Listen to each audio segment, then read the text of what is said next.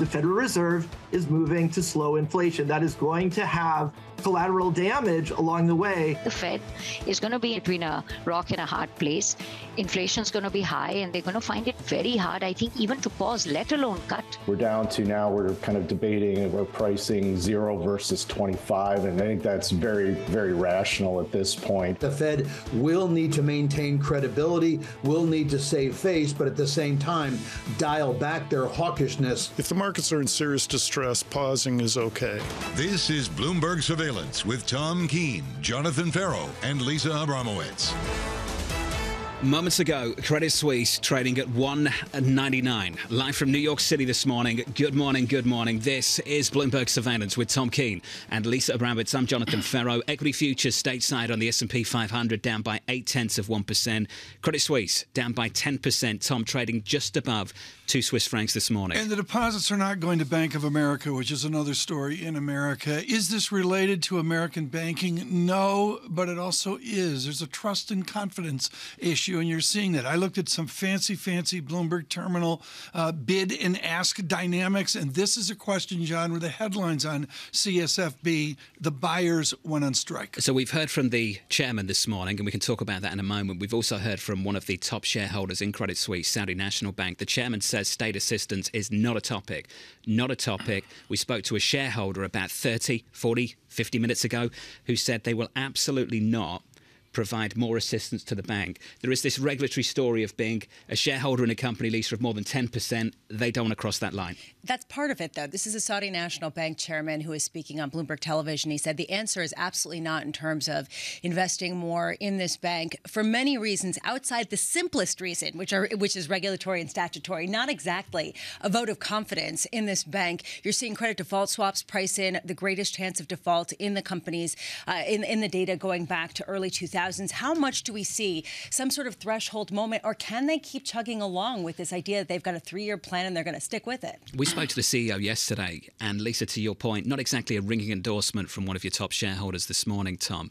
The CEO said things were calm, the inflows were there on Monday to be seen. We don't know the story of net inflows or net flows for that matter, and we need to get some of that information. Tom, fact of the matter yeah. is, they believe they're going to make progress in Q1. We won't really find that out until we get earnings on April 27th. It's a comp- it's a complexity, and what we saw yesterday is a traditional CEO that wants to stay in control by talking out the timeline. Nobody has that luxury right now. I mean, it's just not there. You have to talk about the clear and present dangers that they have. We started out by saying, is this just an add on to what we had seen in the US? It is not. This is a specific story of a bank that's been struggling for quite a while. But it raises a question of what kind of pressures there are that build up, that create a scenario that make it very difficult for central banks to respond to the economic story at hand if they're dealing with nodes of financial distress. Having the luxury of reorganizing in good times, Tom, is not the luxury that often arrives to some of these banks. They often face stress at tough times, and things are arguably getting tougher. Yeah for financial institutions worldwide. Well, they are. I mean, eh, you know, we've got some great guests lined up today to take this forward day one. But can we state that there's all clear in American small and regional banking this morning? I'm not there yet. After I, one day? I, after one day, you know, there's sort of an all. I mean, the equity markets did well yesterday, and I'm looking at some of the spreads that are doing better. Three months to two year is doing a little better. Some nuances here, but I'm just not all clear out front of retail sales later. And not for me to say, running a day into this, Tom, a day into a bounce. Let's see if we get day two, day three, day four. And to your point, still got to get through the data. And then, Tom, we've got to get through next week. The Federal Reserve decision just around the corner, too. Well, yeah. And what's that going to be? Ethan Harris in the, on the top there from Bank of America talking up, you know, could we see a pause? I would say the zeitgeist right now is 25 beeps. Do we all agree on that? You know, Possibly. I, I, would say it's very, very yeah. split. I would say it's very, very split. I could go through the names Wells Fargo, Goldman, Barclays, Sam Paul's. I can pick out others that are saying 25 basis point hike. B of A is one, Citi's another, Lisa Morgan Stanley one too. A lot of people, including Jason Furman of Harvard, came out and said if it weren't for what we saw in the regional banks, it would be a discussion about why not go 50 basis point. The data is coming in hot enough to justify a move. The question is just whether, to your point, John, we see more distress. Have we seen the end of this? And does that change the narrative substantially? Credit Suisse again, a break of two, trading very briefly at 199, right there, just sitting on two Swiss francs, 199.75. Ugly stuff. Elsewhere, equity futures down about eight tenths of one percent on the S and P. The bid comes back into Treasuries. Yields are lower by 10 basis points, 358.46. Seeing a similar story over in Germany at the front end of the curve, the two-year 275. Yields are lower at the front end of the curve in Germany by 14 or 15 basis points. Bit of euro weakness in the mix as well here, Lisa. So euro dollar 106.84. Today we get a data dump, and uh, you know a lot of people used to think that this was actually important before we were worried about the banking system. Now at 8:30 a.m., perhaps people will shrug it off as they have some of the other economic data. We get retail sales for the month of February. We also get U.S. PPI as well as March U.S. Empire Manufacturing, which is always interesting as a first look at March. Do people keep spending? This to me is the key question. With the same robustness, even though real wages are still deeply negative. Wages are not keeping up with the pace of inflation. So, at what point does that eat into the demand that's fueled a lot of the inflation? At 10 a.m., we get the March NAHB Housing Market Index, home builder sentiment at a time where mortgage rates are near 7%. How much do you see it rebounding anyway? This idea that perhaps there is room to tighten more and it won't disrupt certain markets substantially that have already felt a bit of pain. And today, the earnings that we get, including uh, include Manchester United, which, you know, in another moment, perhaps we would talk about in terms of their potential sale in the Glazer family. Also, Adobe after the bell. I'm curious to see the bifurcation between the haves and the have nots, the market share consolidation in the tech giants. As we see, all of the tech giants have had a different story this year. We hear about more job cuts. We hear about perhaps a little bit over enthusiasm in cloud computing, John. Just the earnings will tell a story that perhaps is more consistent than the macro winds that keep blowing in all directions. Lisa, thank you. To focus firmly elsewhere right now, as you know, Credit Suisse down 11% at 198. We all, of course, know some fantastically talented people at that institution right now facing a very, yes. very difficult time. Peter Tchir, head of macro strategy at Academy Securities, joins us. Pete, let's talk about it. 197, I think we're all sort of glued on the intraday chart tick for tick at the moment. Pete, what's your take on what's unfolding? You know, I'm watching the CDS market. We've seen the one year jump to, say, eight to nine points up front. So someone has to pay eight or 9% of principal to insure the credit risk for a year. Part of that's concerning because you're starting to see the curve invert. So there's a bid for front end CDS. Having said that, I think two things that are mitigating that are liquidity is still just abysmal. So liquidity is low. European credit default swap liquidity is not what it once was. So the moves can be exaggerated. And it is a name that people hold so much that they do need to hedge. People have been playing around in the COCOs, various uh, parts of the cap structure. So you do get this volatility. It is a bit concerning, though, that at every, you know, it seems to be reaching new highs in terms of CDS spreads. So I'm watching that. And I think one lesson all the US banks should be taking is when it comes to capital raising, you have to be aggressive and get it done early, right? This seems to be today's story is about not raising capital maybe a few months ago, and that's what's hurting them today. I think every U.S. bank that's kind of in that weaker end should be thinking, how do I raise capital? Because we in the U.S. have to fill that big void of the unmarked, uh, you know, unrealized losses in treasuries. Pete, some financial institutions that some people had never heard of were declared systemically important by regulators in order to make depositors whole over the weekend in America. How would you describe the importance of Credit Suisse to the financial system? You know, it's an incredibly important company. It's a awesome company. It's as you say, we all know people who are there. I think we need to see this get resolved because the one thing we do tend to see, unfortunately, is if one gets into trouble, people very quickly start looking, oh, what's the next one that looks remotely like this? And it may be unfair, but that's kind of the pattern we saw during the European debt crisis, during the great financial crisis. I think we just saw it here in the regional banks. So this has to be a priority for the ECB right. and yes, to get together. Peter, I just want to cut to the chase here on contagion. I'm looking at Deutsche Bank. I'm looking at the retail French giant BNP Paribas. Same idea. They give way as well. Peter, we don't have time for the tech dynamics, but it is grim. There's no other way to put it. With uh, John, help me here. A 194, 1.9405 on Credit Suisse. Do you look at this as a EU regulatory contagion, or is it contained to Zurich? It should be contained to Zurich.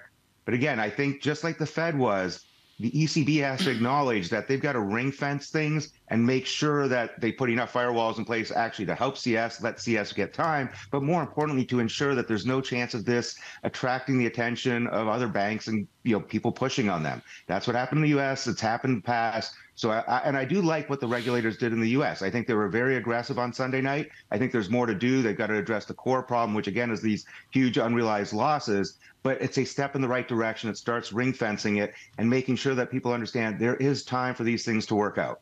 The core problem is also, though, that regulators missed some of the red flags, not only uh, with respect to Credit Suisse and now having to go back and rethink some of the uh, statements as the SEC raised flags, but also over in the U.S., where there wasn't even a chief risk officer at SVB. I'm wondering, from your perspective, at what point does the market lose faith in the ability of regulators to flag risks that might emerge next?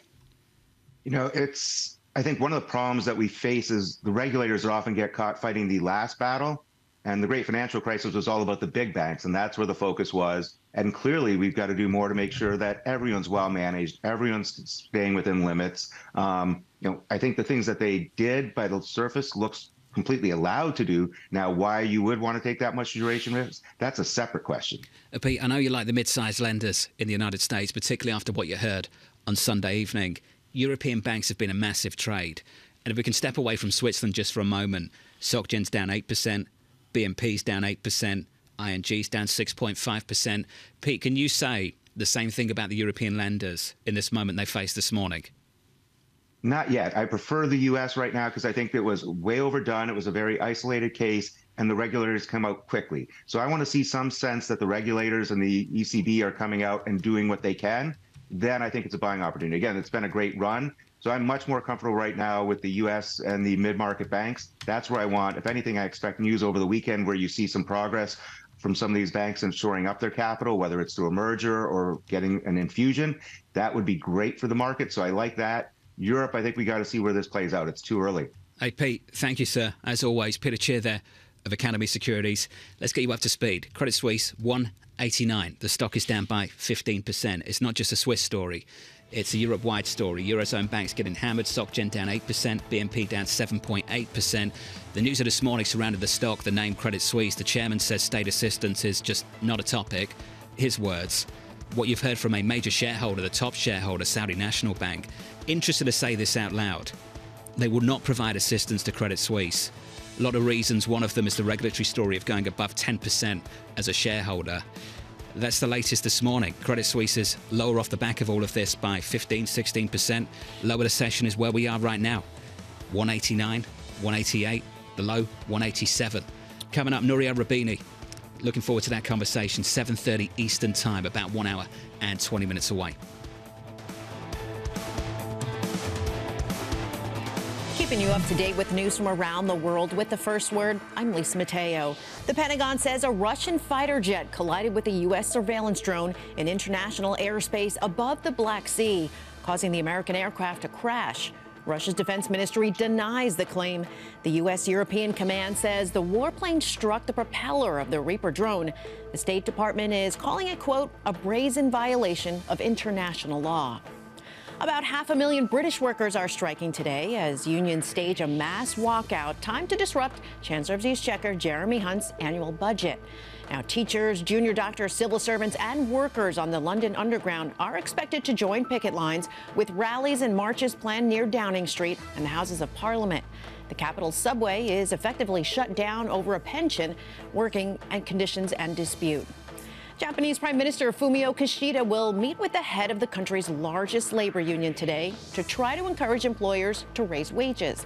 The talks have been attracting extra attention since Kishida called on companies to boost pay as part of his so called new capitalism policy, asking for raises that exceed inflation, which is at a four decade high. Global news powered by more than 2,700 journalists and analysts in over 120 countries. I'm Lisa Mateo, and this is Bloomberg.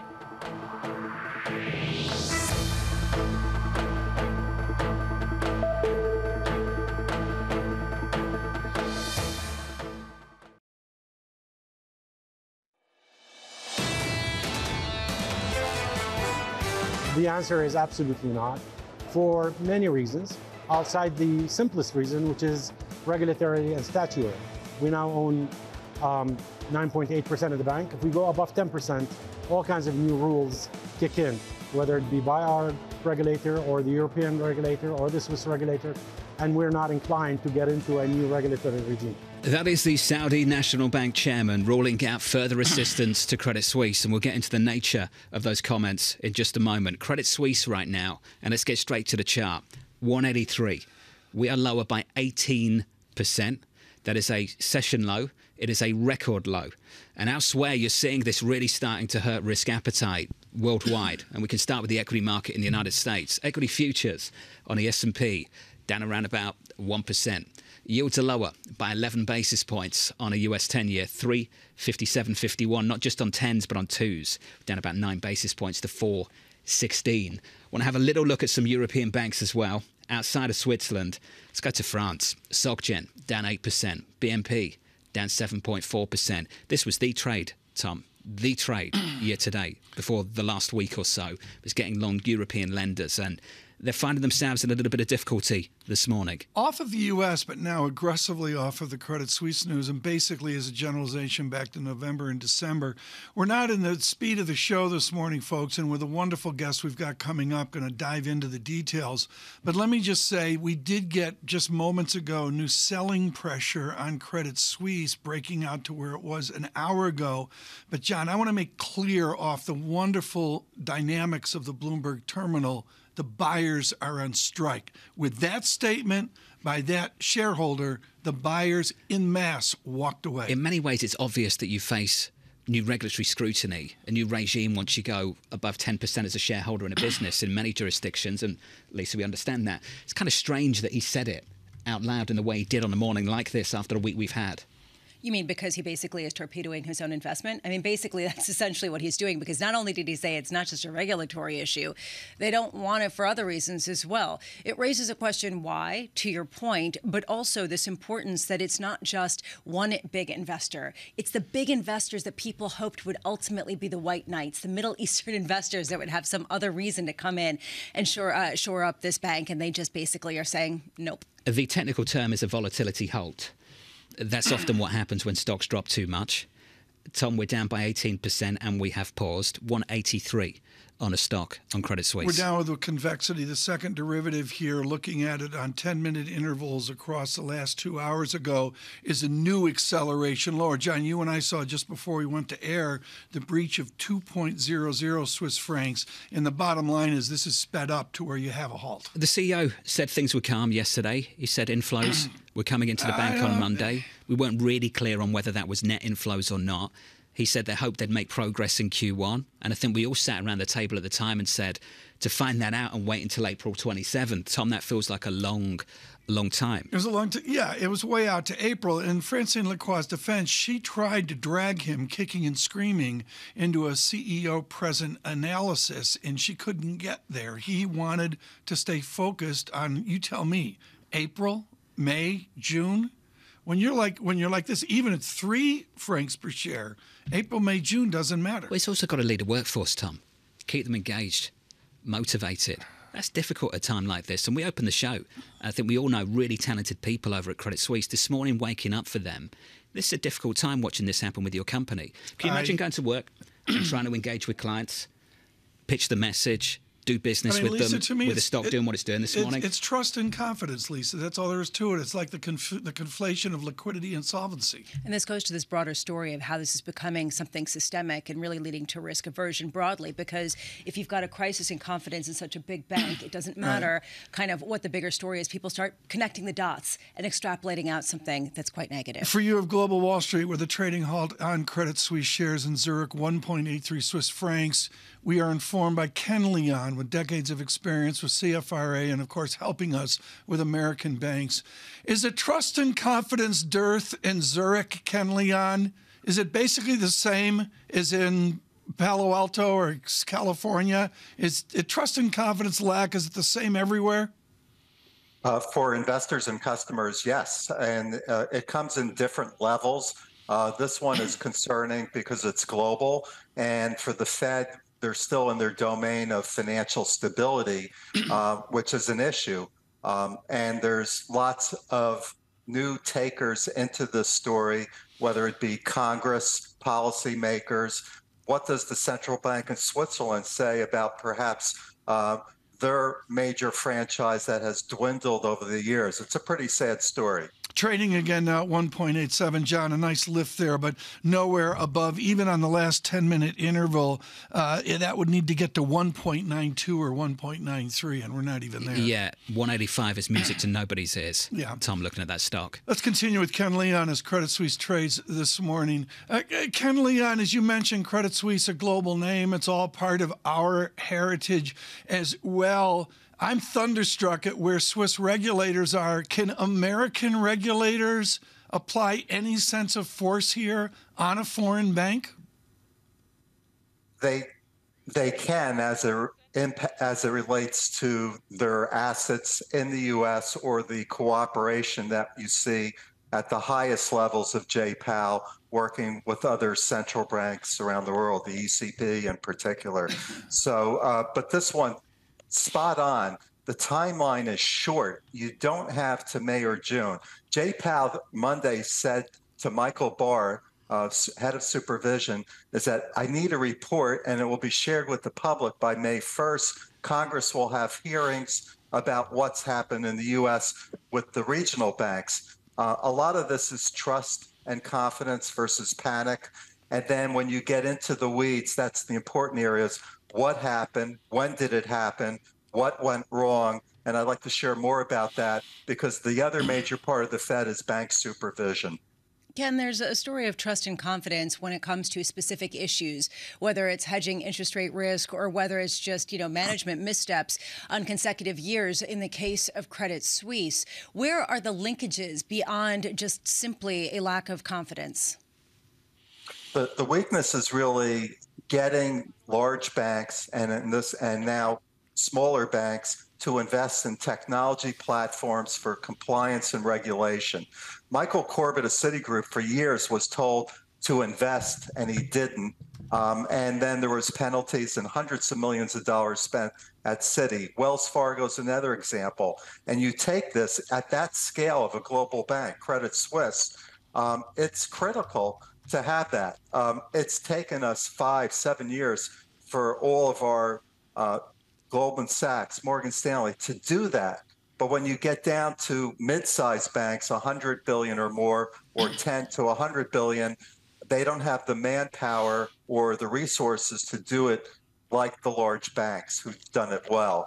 And on the other side is the Fed has thousands of bank examiners, but after 2018, regulation just stayed very focused and tight uh, for those above 250 billion, not 50.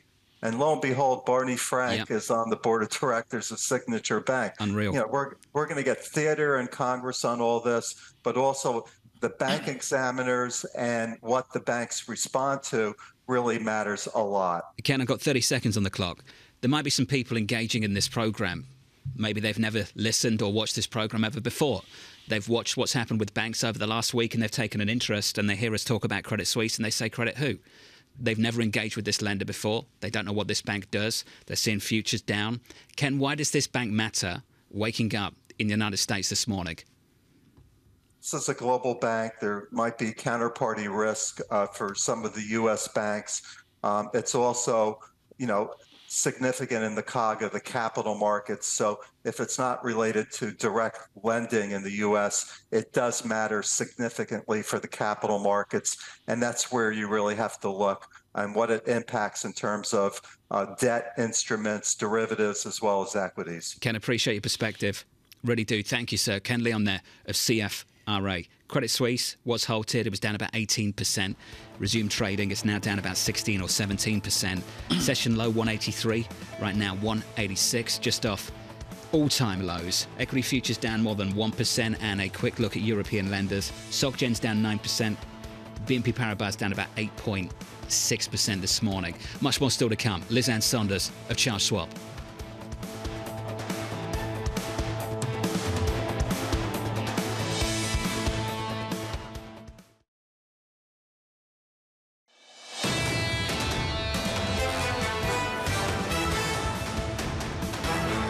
This is turning out to be a really, really long week.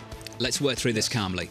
Equity futures down a little more than 1% on the S&P 500. Similar move on the Nasdaq, much bigger on the Russell, heavily weighted to the financials. We talked about that all through the week so far and at the end of last week as well. The Russell's down 2%.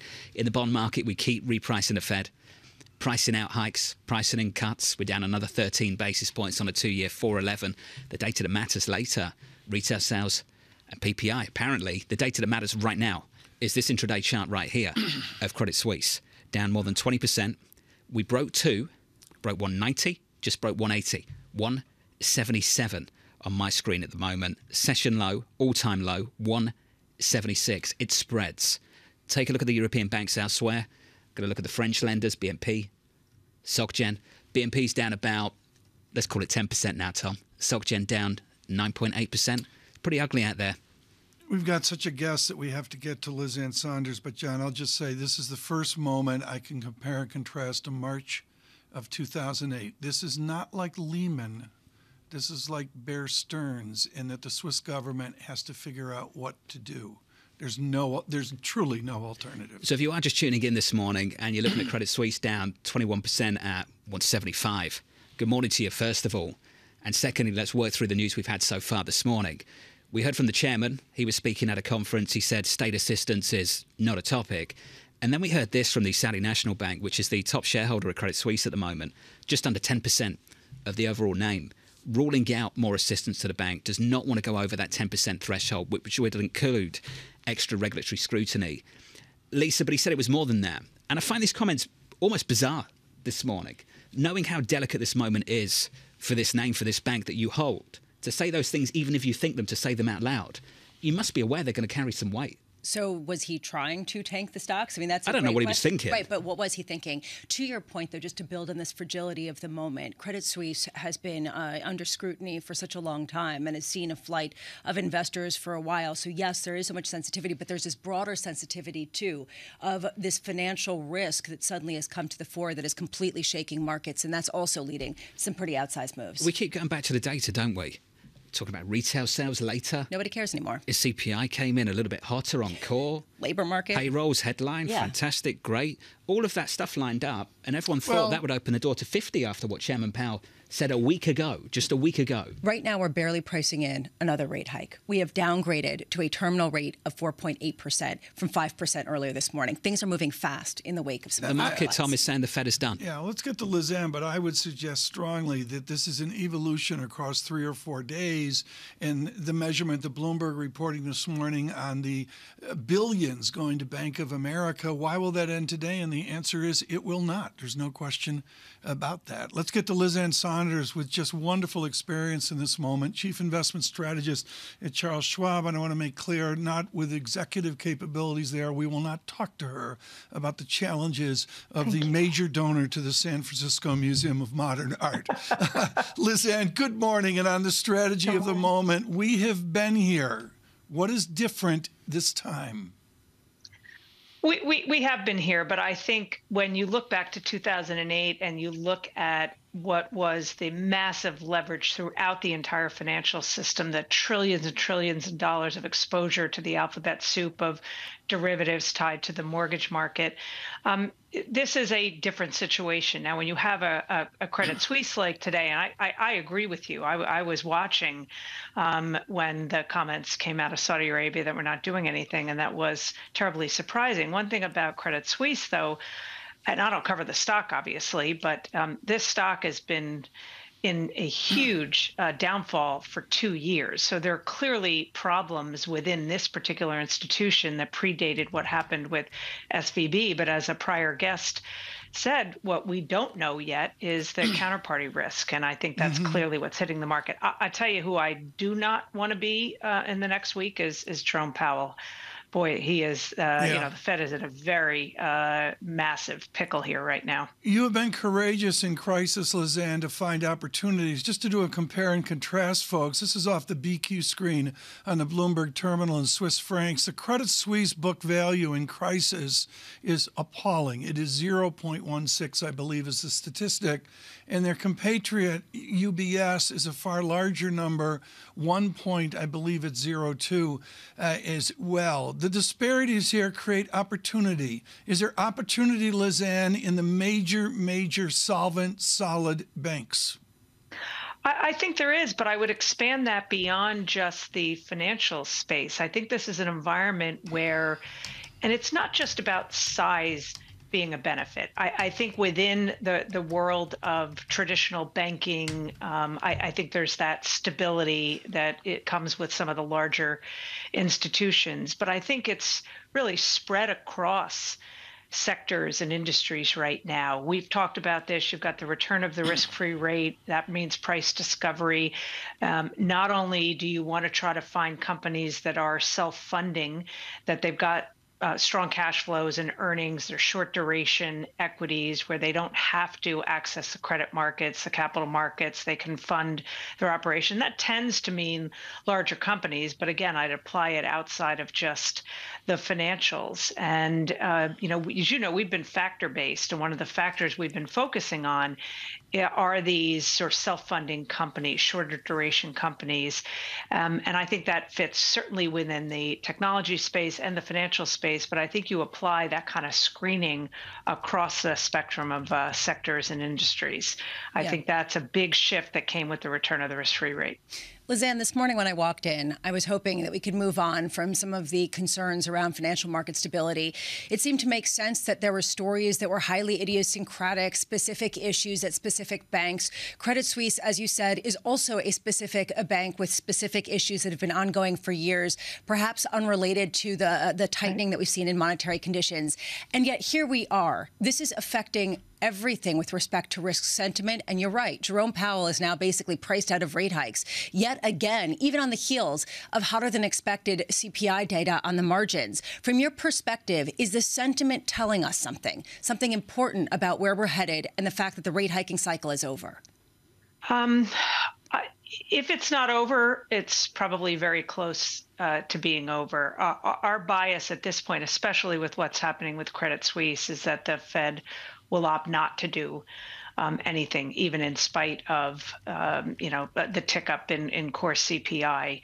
Um, I think they'll be careful not to suggest that that's it, they're done, because if you start to see some stability in the financial system, I will say that what's really frustrating to me. You guys have done a, a, phenomenal job of reporting on all of this, but spend any time on Twitter and the misinformation that is out there, the conflating of what's gone on, the the blending of FDIC and SIPC as if they're the same thing. What is the meaning of the Fed's new facility as a liquidity and funding facility? And I've seen it all jumbled together into kind of one animal. And there's a lot of people that get their information in in, in a form like that.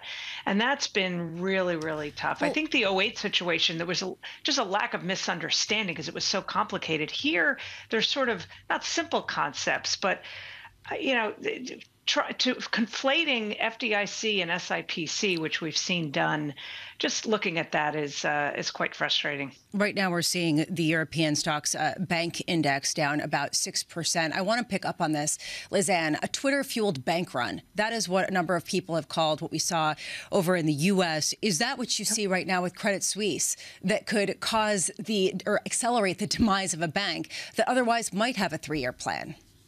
You know, I don't want to say yes or no. I, I, don't cover the the stock. I think it's premature to speculate whether we'll ultimately uh, call this a bank run.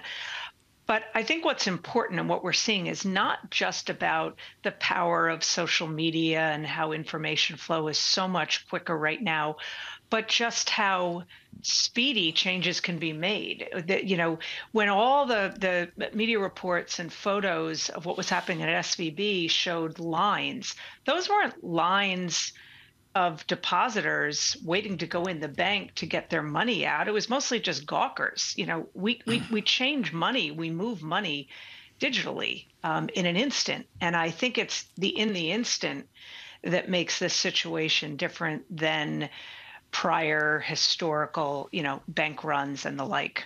Liz Ann, we appreciate your cool, calm, and collected thoughts as always. Lizanne Sonders there of Charles Schwab. Let's return back to the stock. Stock's down more than 20%, 177. That's just off an all time low. the words which sort of reverberate around Switzerland come from the Saudi National Bank chairman this morning speaking to Bloomberg, saying, Will you invest more? Will you offer more assistance? The answer is absolutely not, for many reasons outside the simplest reason, which is regulatory and statutory. We haven't heard from Credit Suisse this morning. We have heard from their friends across the road over at UBS. Ralph Hamers, the CEO over there, saying just moments ago, Tom, they're focused on their own strategy, won't answer hypothetical questions on Credit Suisse. But I think we're all watching the same name because it's right. spilling over. You look at the European names this morning, SocGen's down 9%, BNP Paribas down about 8 9% right. itself. Particularly for those of you in London and, and on London Wall Street amid this bank crisis, what's important here is the timing at the Morgan Stanley conference. Mr. Hamers, I'm going to guess 550, 555 are those comments out on Bloomberg at 603 to our world class speed there on headlines. John, it doesn't, you know, it's not the hyperbole that it seems ages ago, but I think right now, after the last 38 minutes, he's going to have no comment. It's 641 here a minute from now. So, Thomas, you know, been around for a long time, people have visceral reactions to comparing things to like 2008, mm. 99, 2000. I don't like to go there. But one thing that frustrates me about people who do is that when we benchmark to those extremes, I think it's easy to say it's not that and then become dismissive about the moment we're in. So let's not benchmark to the extreme, benchmark to what's happened in another period and just talk about the moment we're in. Just because it's not that does not mean this is good. And what we've seen over the last week, Lisa, is not good. And it's going to tighten financial conditions meaningfully. And that's what we've heard from people because there's suddenly a reluctance uh, to uh, really just lend to anyone and an increased concern about counterparty risk. And that's really the unknown here. what are the potential counterparty risks within the banking system? I mean, why else? All things being equal, the big U.S. banks should benefit from this because they can capitalize on the business, but they're not. Their shares are much lower. And this is speaking to this concern about the broader systemic risk. Yeah, Credit Suisse, Tom, is a different beast. It's a different beast. I am in the camp that it is a global bank with massive Asian perspective that no one's talking about. This is not another Silicon Valley. It's different and it's global. 176, stock down 21%. Equity futures down by, let's call it 1.5% lower. We'll catch up with Simon French from Panmure Gordon very shortly. Keeping you up to date with news from around the world with the first word, I'm Lisa Mateo. UK Chancellor Jeremy Hunt will pledge to drive economic growth by unblocking business investment in his first budget today. The most pressing issue for him high inflation, weak growth, a cost of living crisis, and labor shortages. But with the UK tax burden at a post war high, he will struggle to raise taxes or find savings.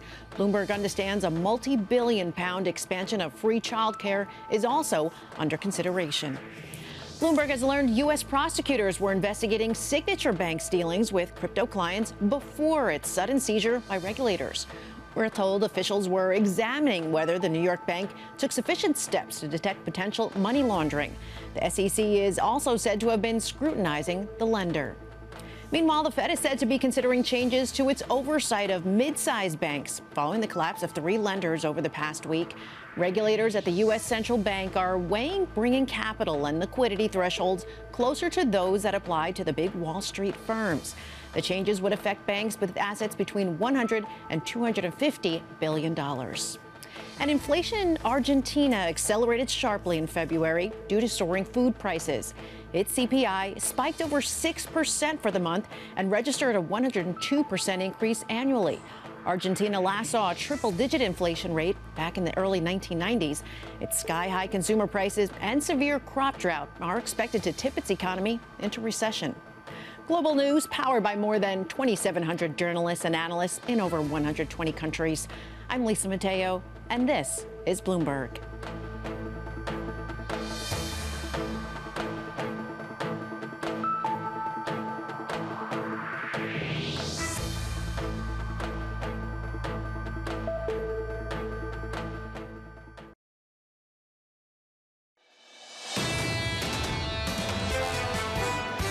Wondering whether you would be open to assisting further if there was another call for additional liquidity from Credit Suisse. The answer is absolutely not, for many reasons, outside the simplest reason, which is regulatory and statutory.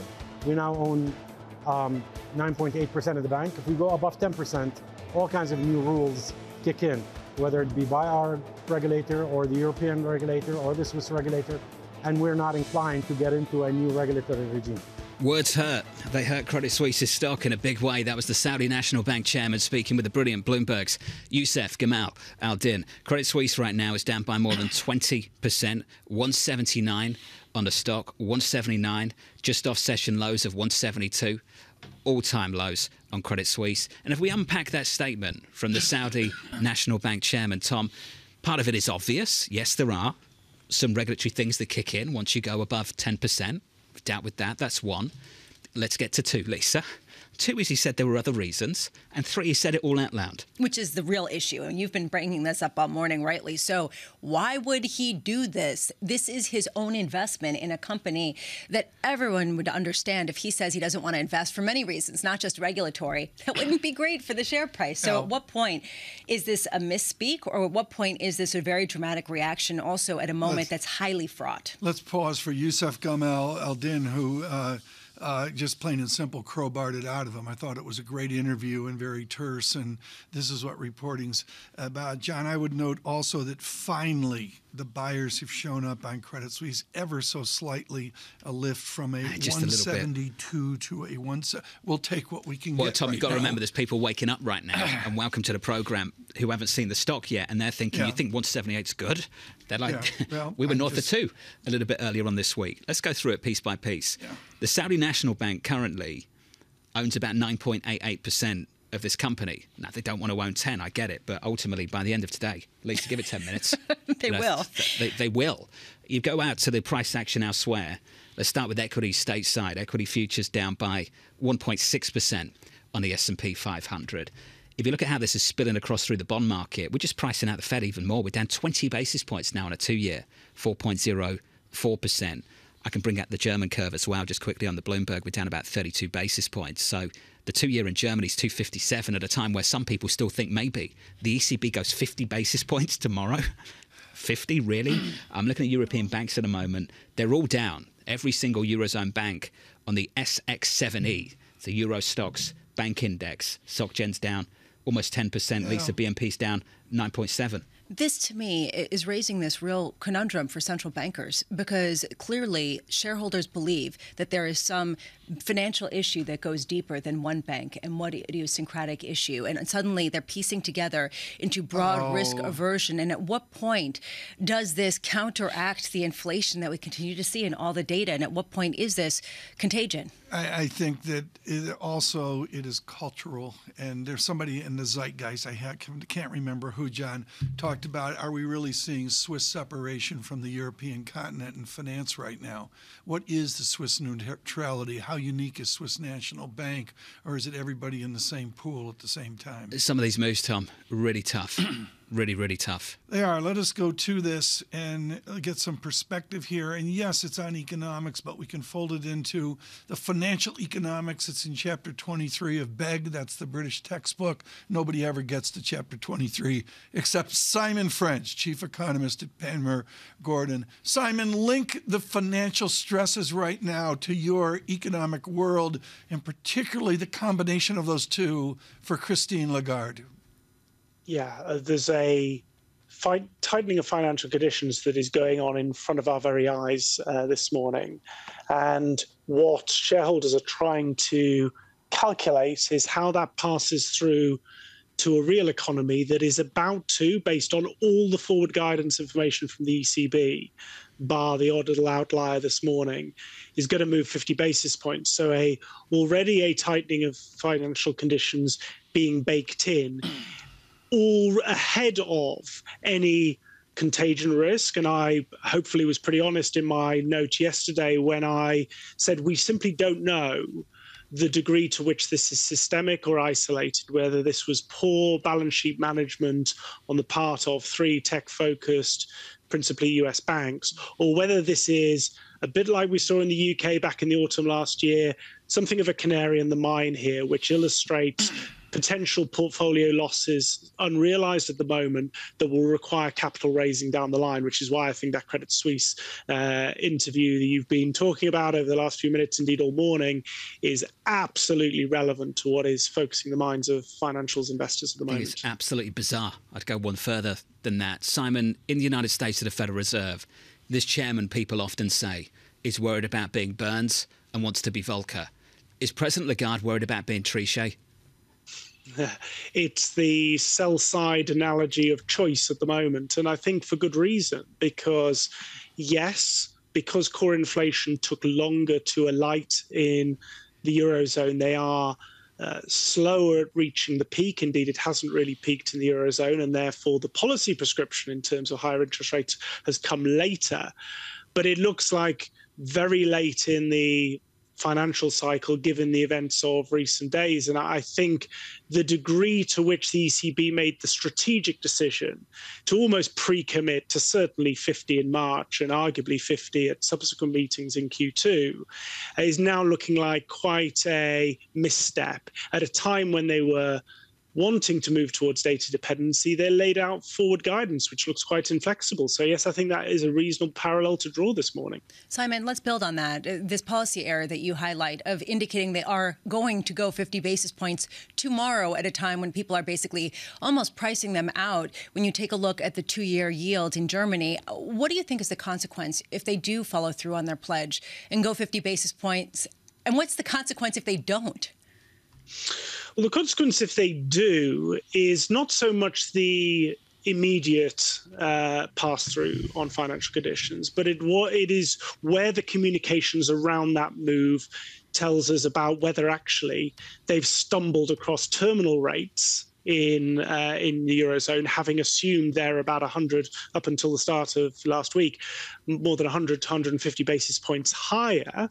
Um, but the real question you what one has to ask is why given the information we have now at our disposal and the premium that is now on another few days, indeed, another few weeks of, of data. That premium is so high, that is so valuable in terms of understanding the context, the significance, the systemic nature of this the, is it beyond the realms of possibility to do a, a, a, reverse? I think it's easier for the Fed. I think it's easier for the Bank of England next week. I think it's much harder for the, uh, the ECB given where they've boxed themselves in. Simon, we've got to leave it there. Appreciate your perspective. Simon French there of Panmure Gordon. Nobody wants to be Chairman Powell next week. You certainly don't want to be President Lagarde going into tomorrow's meeting. Credit Suisse right now is down 21% at 176. Session low is 172 all time low is 172.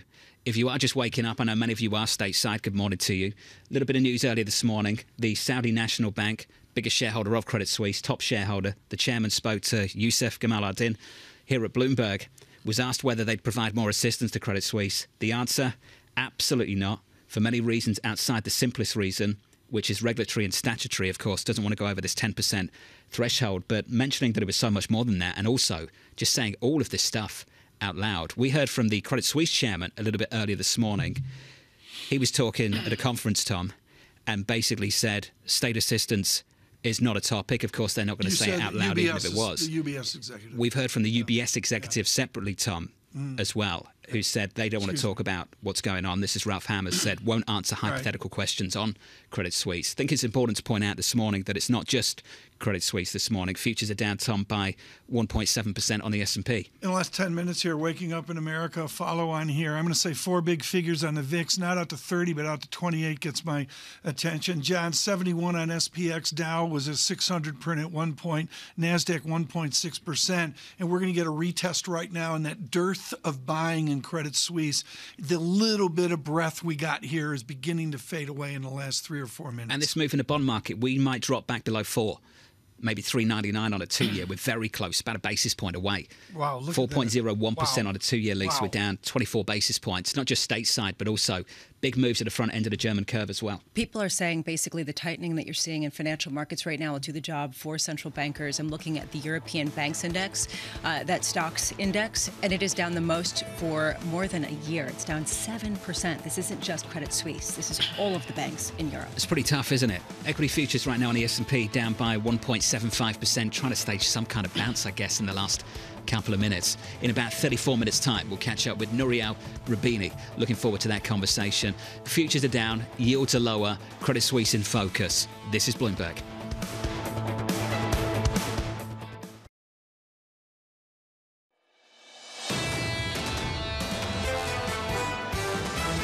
the Federal Reserve is moving to slow inflation. That is going to have collateral damage along the way. The Fed is going to be between a rock and a hard place. Inflation is going to be high, and they're going to find it very hard, I think, even to pause, let alone cut. We're down to now, we're kind of debating, we're pricing zero versus 25, and I think that's very, very rational at this point. The Fed will need to maintain credibility, will need to save face, but at the same time, dial back their hawkishness. If the markets are in serious distress, pausing is okay. This is Bloomberg Surveillance with Tom Keene, Jonathan Ferro, and Lisa Abramowicz. What a difference a week makes. Live from New York City this morning. Good morning, good morning for our audience worldwide. This is Bloomberg Surveillance on TV and radio. Equity futures on the S&P down by 1.8%. One stock in focus, Credit Suisse, is down 23%. A secession low, it's an all-time low, 170. We're in the 170s on Credit Suisse. The words of the Saudi National Bank chairman, top shareholder to Bloomberg earlier this morning. Will you invest more? Will you provide assistance, Tom? The answer absolutely not. For many reasons, outside the simplest reason, which is regulatory and statutory. We'll show that here in a number of minutes. I thought it was telling, John, in our opening montage there, we had not one but two people that survived the Lehman Wars. Neuberger Berman and Ethan Harris, of course, was chief economist at Lehman uh, at, at the time. Is this like Lehman? No. To me, it's like Bear Stearns or like March of 2008.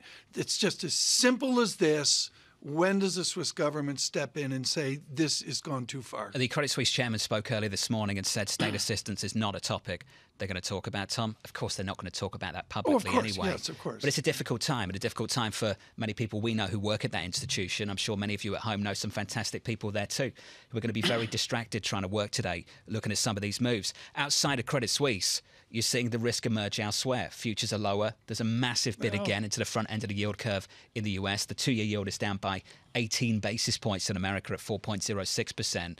There are no easy decisions here. Lisa, for central bank policymakers. Lagarde tomorrow, Powell next week.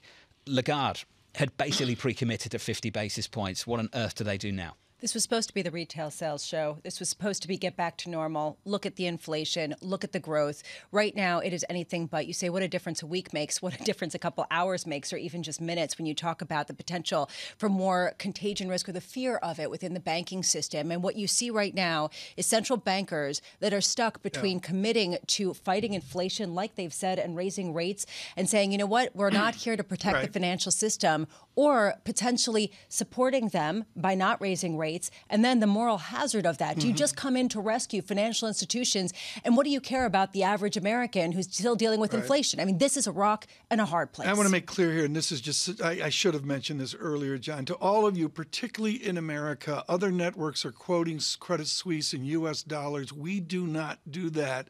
We stay quoting in Swiss francs. So you're looking at a 174, John, off a bounce of a 171 one rounded, uh, but we're quoting in Swiss francs this morning. Without a doubt, looking at 174, Elisa on Credit Suisse stock, and I'll go back to some of the European lenders elsewhere. We've seen SocGen, BNP Paribas, get wrapped up in all of this. SocGen's down a little more than 10%. Looking at BNP wow. Paribas, down about 10% as well. Commerzbank, another name, Lisa, down about 9% this morning too. Yeah, Torsten Slok of Apollo uh, just came out with this. When the facts change, my view changes. A financial accident has happened, and we are going from no landing to a hard landing, driven by tighter credit conditions. People are looking at a new landscape driven by some of this financial concern that we're seeing in the banking I said industry. what a difference a week makes, hey? We were talking a week ago. Chairman Powell had just had day one of his semi-annual testimony, opening the door seemingly to going 50. We were all sitting around the table. Okay, how low's that bar? Yeah, exactly. Payrolls Friday, 311. Yesterday, CPI core hot. Going to get retail sales. No one cares. No one's even talking about retail sales this morning. No one cares about any of the economic data because right now that's all backward looking and the landscape has changed. As Torsten Yeah. Slok said, the rapid tightening in financial conditions have really caused a backdrop that causes a, a potential hard landing that people are starting to price in. This crisis and the, the, the global sense of it all of a sudden with Credit Suisse, and it's yes, it's a bond move, and we're very fixed income here. John, OECD just out, I believe, with their gross domestic product table. Thank you, Barbara Sklodowski, for this in London. And they're really looking at an economic, not malaise, but slowdown. And we've seen that quietly in oil. So, do we have a financial crisis linked into an oil slowdown? American West Texas Intermediate, the NYMEX, just printing below 70. That is, I'm sorry, it's off the radar, John, but we've got to look at the sum of these different statistics. Oh, it gets your attention. So Yeah. yesterday's session crude was down 4.6%, down 2.5 on Monday. There is a supply side story here in the crude story this morning. The IEA Yes. put out a note a little bit earlier this morning and reported that the crude market was actually back at a surplus off the back of what's happening with Russia, Lisa, Right. which is surprising because we came into this week and, I mean, seriously, rip up the playbook for 2023, but came into this year thinking China rebound, crude's going to do okay, Goldman looking at triple digits, and here we are south of 70 on WTR briefly. I would argue you said write your year ahead outlook on March 31st. Maybe you can write another one on April 30th because right now things are moving so quickly. Whether it's Russia public printing, uh, uh, uh, pumping as much oil as they possibly can, or potential distress of something breaking. Well, it's March 15th. so a few more weeks to go. 168, Credit Suisse halted again, down 25%. Down 25% in Swiss trading. Got a great guest lined up, David Kelly, Chief Global Strategist at JP Morgan Asset Management. David, wonderful to hear from you and great to see you. What a difference a week makes. What do you make of what's unfolding this morning? Well, it's it's unfortunately a pre- predictable uh, further wave after what we saw with uh, SVB and Signature Bank over the weekend. Uh, the, these kinds of crises do work in waves because it's really about a confidence crisis. And what's really happening here, you know, the Federal Reserve since 2008 has been conducting stress tests. Well, really, what's happening here is the market is conducting a stress test on the Fed, uh, and it, you know, how far can the Federal Reserve raise short-term interest rates, uh, given how low they were for so long, without causing some damage? And we've discovered uh, that that we've now reached the limit of what the Federal Reserve can do without causing significant problems. So they they should stop. Uh, and uh, you know, I, I think you know I've heard other other guests talk about how the Fed is between a rock and a hard place. I don't believe that. I think they're between a rock and a soft place because I think inflation is coming down. It will come down. Um, this is not a fundamentally inflationary economy. So the Federal Reserve and other central banks, uh, I think at this stage, should stop hiking and provide real reassurance that they are going to uh, protect the financial system and deal with this uh, this problem. I think that's really what they need to focus on. David, the fear that's out there is personified in flows. I'm not going to ask you how many gazillions JP Morgan took in yesterday. I know you know the number, but you can't talk about it. It's a joke, folks, in crisis. But the answer, uh, Dr. Kelly, is flows and fear matter. Where will the flows lead to? Do we lead to a place where portfolios recover, or do we lead to instability into the summer of this year? Well, portfolios will eventually recover, and I, I think the I think the key here is it's it's all about the inflation actually, because you know people keep on talking about hot inflation, but the truth is inflation has now fallen on a year-over-year basis for eight consecutive months. And what I think is much more important is wages are growing slower than headline inflation for 23 consecutive months. That tells me workers don't have bargaining power. Despite how tight this labor market is, workers don't have bargaining power to get fully compensated for inflation. If that's right, then inflation will gradually come down, whether we have a recession or not, no matter what the central banks do, inflation will gradually ease over the next year or two. And central banks need to just, um, you know, allow that to happen. And if they do, you end up back in the middle of this decade, actually where you were in the middle of the last decade with a low inflation, slow growing economy, but a low inflation economy, which I think will support uh, both stocks and bonds. So I think we will get there, but it's going to be a pretty bumpy ride getting there. David, just in the moment that we're in, where people are very worried about financial market contagion, and you could say that this is a Twitter fueled run or a Twitter fueled kind of uh, hysteria with people getting growingly concerned and spreading around information. How deep does it go, though, in terms of a crisis in confidence and what that means with respect to lending conditions, what that means for defaults, what that means for just how quickly this economy could come to a halt?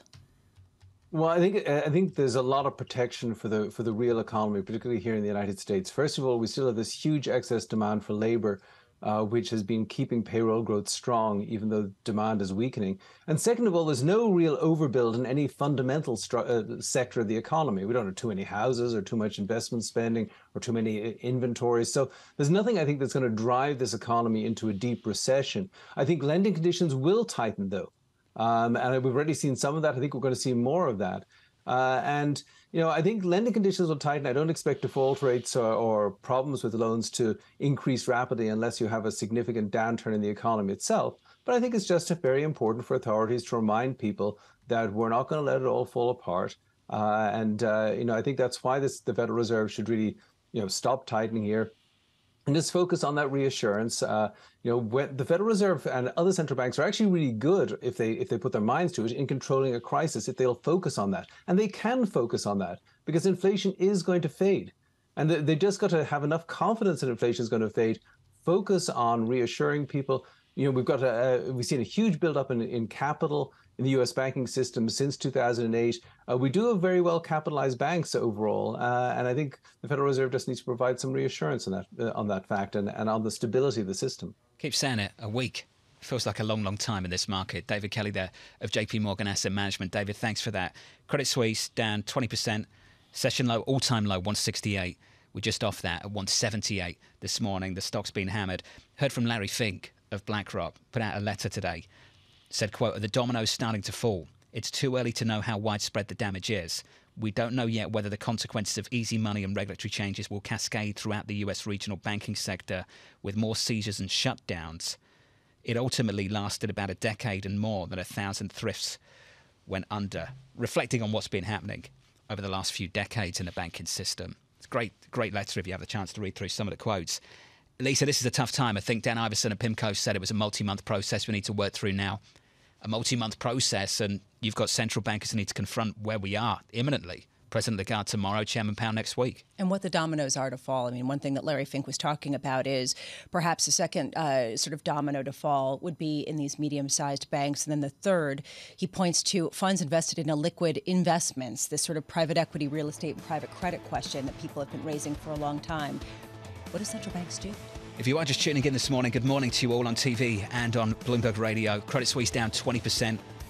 The chairman of the Saudi National Bank, speaking to Yousef Gamal El-Din of Bloomberg this morning, asked if he'd provide more assistance. The answer, absolutely not, for many reasons outside the simplest reason, which is regulatory and statutory, and that really putting the knife into a stock that was already struggling.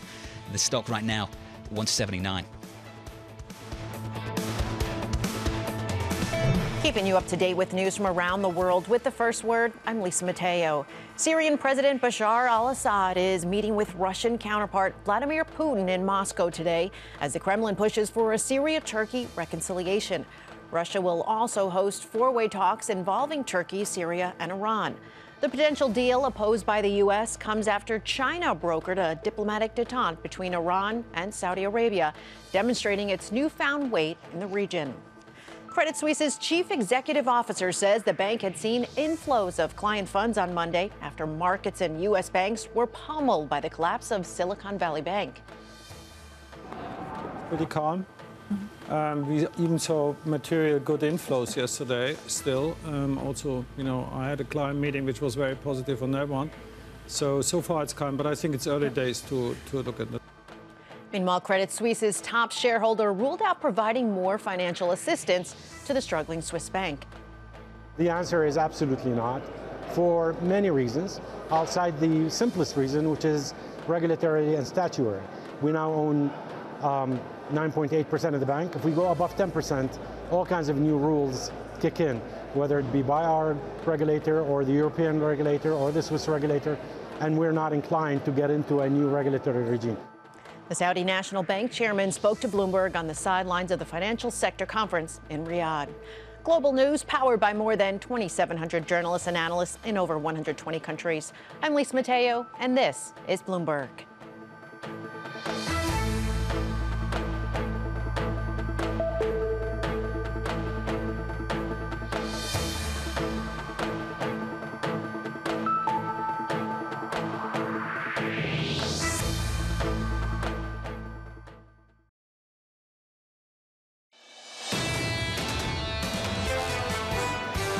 Wondering whether you would be open to assisting further if there was another call for additional liquidity from Credit Suisse. The answer is absolutely not, for many reasons, outside the simplest reason, which is regulatory and statutory. We now own 9.8% um, of the bank. If we go above 10%, all kinds of new rules kick in, whether it be by our regulator or the European regulator or the Swiss regulator and we're not inclined to get into a new regulatory regime. Stunning, the Saudi National Bank chairman speaking with Bloomberg's Yousef Gamal El-Din. Not stunning because they place regulatory issues if they go above 10%. We know that. Stunning because he said it out loud and said there were other reasons too. I'm sure that the C suite at Credit Suisse were not too happy about hearing that earlier this morning. The stock's on an eight day losing streak, 181 on Credit Suisse. We're down by almost 20%. A little bit early, we were down 25. The lower the session, that's a record low now, 168. But if you're just waking up, ultimately 180. It's brutal. It's a one handle on Credit Suisse this morning, and it bleeds to the rest of the market. Equity futures down about 1.6% on the S&P 500. On the Nasdaq, we're down 1.4. The Russell, the banks, we're going to be looking at the US banks, heavily weighted to the financials on the Russell. We're down about 2.6% there. In the bond market, we're pricing out hikes, we're pricing in cuts. Down 17 basis points on a two year in America. We came really close to going back into the threes on a two year earlier. We're doing the same thing over in Germany, pricing out hikes, pricing in cuts. Got the ECB tomorrow. European Central Bank's got to confront this tomorrow after basically pre-committing to 50. Who knows what they're going to do with SocGen Tom down 10%, I... BNP down 9.6%, Commerzbank, take your pick this hmm. morning over in Europe, down 8% there too. Take your pick, and they have a knowledge base of what the next bank is. It's not to be inflammatory and say there's another Credit Suisse, but now Credit Suisse trading here with some kind of activity, bouncing off 1.68. This is the first time, John, I have two 10-minute intervals, they're called, where Credit Suisse lifts off that horrific terrific 168 level, 1.80 Swiss francs. Tomorrow is the one year anniversary of the first interest rate hike of this cycle. Tom, tomorrow. And a year in, more than 400 basis points of hikes, playing catch up because this Fed was late. And this market's screaming, you're done. It's screaming you're done a week after Chairman Powell seemingly teed up, opened the door at least, yeah. to go in even faster. There are indicators of this. I go short term. I go to the land of Ira Jersey and I look at a, uh, the dynamic of three month paper, three month T bills. They've improved the last couple days. They're not as inflammatory as they were Monday or even Friday, but we're nowhere near, anywhere near yet saying the rate regime is pulling back from the agony that caused the California mess. Look how quickly things have changed in a few days. Torsten well, Slok Apollo. Clear. Market's Lisa mentioned clear. Torsten early this morning. We've been talking about Torsten for weeks, talking up no landing. Data confirmed it, at least in the early part of this year. Where's the recession? Payrolls 311, unemployment month ago was 3.4%. Then we had CPI still looked hot. Retail sales again. no one's going to talk about retail sales at 8:30 after what we're seeing. Lisa, he's gone from no landing to hard landing, just like that. When the facts change, my view changes. That is Torsten Slok saying a financial accident has happened. And a lot of people were wondering what is the terminal rate since nothing has broken for so long, that it seemed like this market was so resilient, this economy was so resilient. So if nothing's breaking, maybe that terminal rate for the Fed was much higher. People talking six, six and a half percent.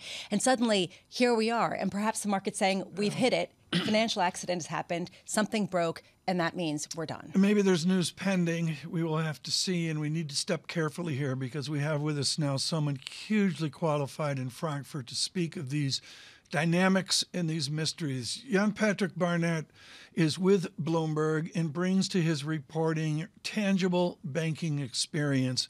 Jan Patrick, what is the mood, the sweat, the, the fear? That would be at the Credit Suisse headquarters, the thousands of Zurich people working for Credit Suisse. What is their angst this morning?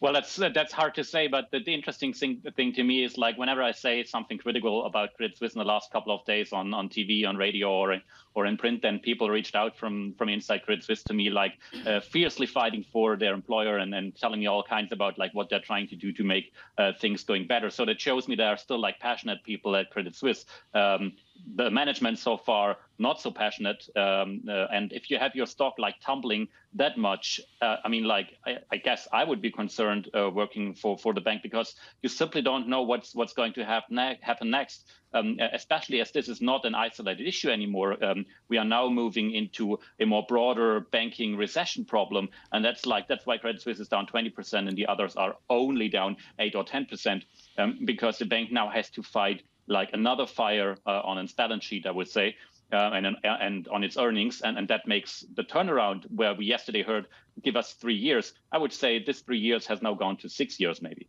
Jan Patrick, how shocked are you to hear the words from the Saudi National Bank chairman this morning to Bloomberg? How shocked were you by uh, that, that language? Absolutely not. I mean, the language was hard when he says absolutely not going into this. But I mean, think about it. They took part in the in the capital raise three months ago. The stock's down 50% since that. I mean, like, if you are a responsible asset manager everywhere on the world, you're not going like, yeah, sure, let's ship in another billion um, down the road here. That's not going to happen. So it makes total sense for me that he says, like, at this point, no, thank you. Uh, we have put enough money into this bank. Now they need to show to make it work. And again, given all the other stuff happening around the bank, why should you take this risk? It's it's a horrible risk reward profile at this point.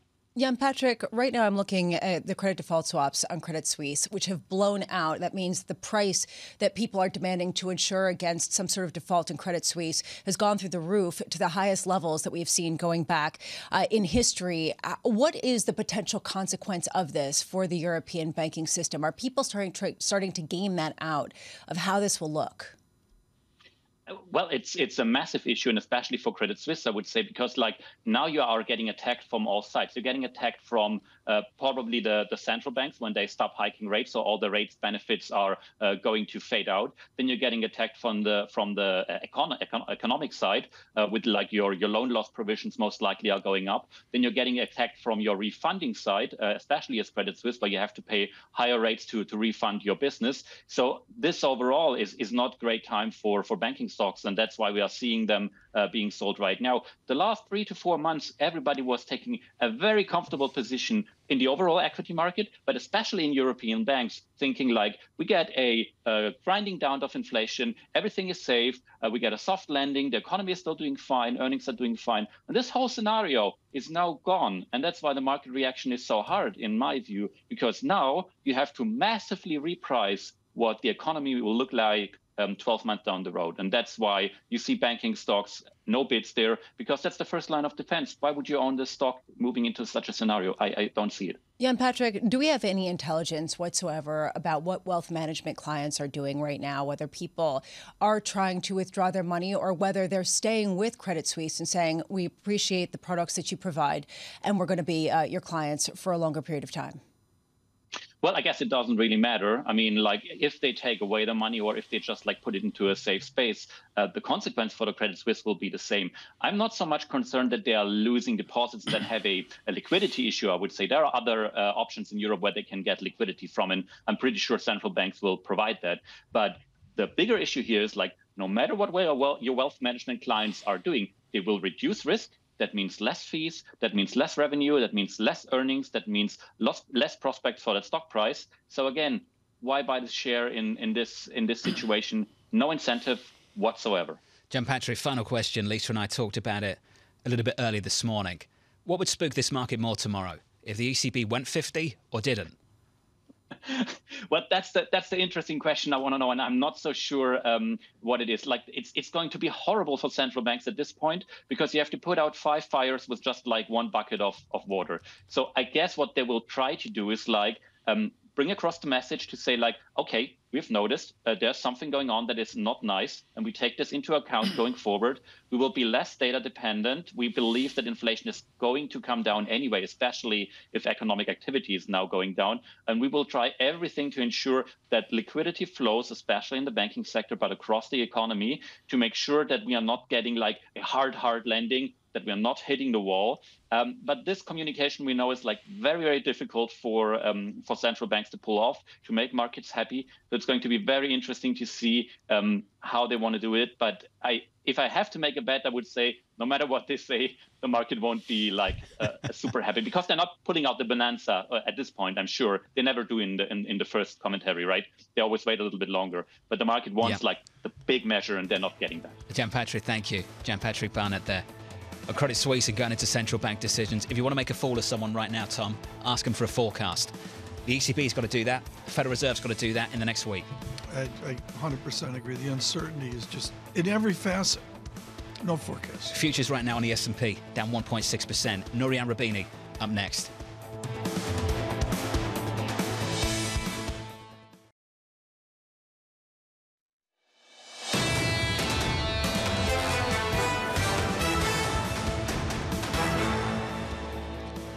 Equity futures right now on the S&P 500 down by 1.6% on the S&P. The thing you need to watch right now is Credit Suisse down by about 20%.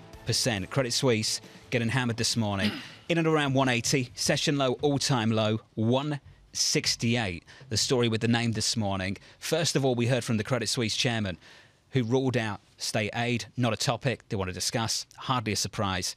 This was surprising in more ways than one. We heard from the Saudi National Bank chairman who said they will absolutely not provide more assistance to Credit Suisse, mentioned the regulatory issue of going above 10% as a shareholder. I think we all understand that, but said there were other reasons as well, for many reasons, outside the simplest reason, which is regulatory and and statutory.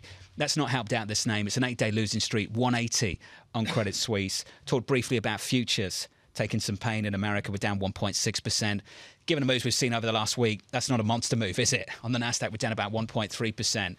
The two year bond in America has traded like a penny stock over the last week. It's down 22 basis points on a two year. Very pink close. Sheets. Pink sheets. Very close to 399, Tom. 4.03. 4.03 on a two year. Amazing. 399 there. We're watching uh, American Oil near 69 handle. John, I just need to bring us up to date on the 10 minute intervals on Credit Suisse. Yes, a bounce, but just up to one comfortable moving average. And now is where we see a real retest at 1.80. Do we go back down and look at 168, or do we actually get to a better place? Deeply uncomfortable for that company this morning. The moves you're seeing in the bond market, we're pricing out rate hikes, pricing in rate cuts, not just in America, but in Europe too. Looking to Germany, the two year yield is much, much lower this morning. Tomorrow, ECB President Christine Lagarde, Elisa, has the unenviable task of working through these issues after seemingly pre committing to a 50 basis point rate hike and now seemingly also stuck between a rock and a hard place. Because when we asked this question this morning, what would spook this market more if they went 50 or if they didn't? And what does that mean about their visibility, their credibility, and their willingness to back up a financial system at a time when other people say that the broader economy is still doing really well and perhaps too well with respect to inflation? It's not just Credit Suisse. And this, I think, was making it very difficult. You're talking about bonds, you're talking about stocks. Take a look at European banks. If you look at the specific banks, SocGen down more than 11%, BNP down more than 11%, Commerzbank down almost 10%, UBS down 7%. If you take a look at the banking index as a whole in Europe. It's down about 7% for the biggest drop going back a year. We're looking at a situation, John, where people are trying to extrapolate out what it would mean with respect to counterparty risk, with respect to other risk that might not be seen that's exacerbated by the rate hikes. They're trying to game that out both in the Europe and in the US and then putting that into a scenario that used to be inflationary and now suddenly is not. It's so difficult, Lisa. No one knows. And Tom, for that reason, you de-risk and ask questions later.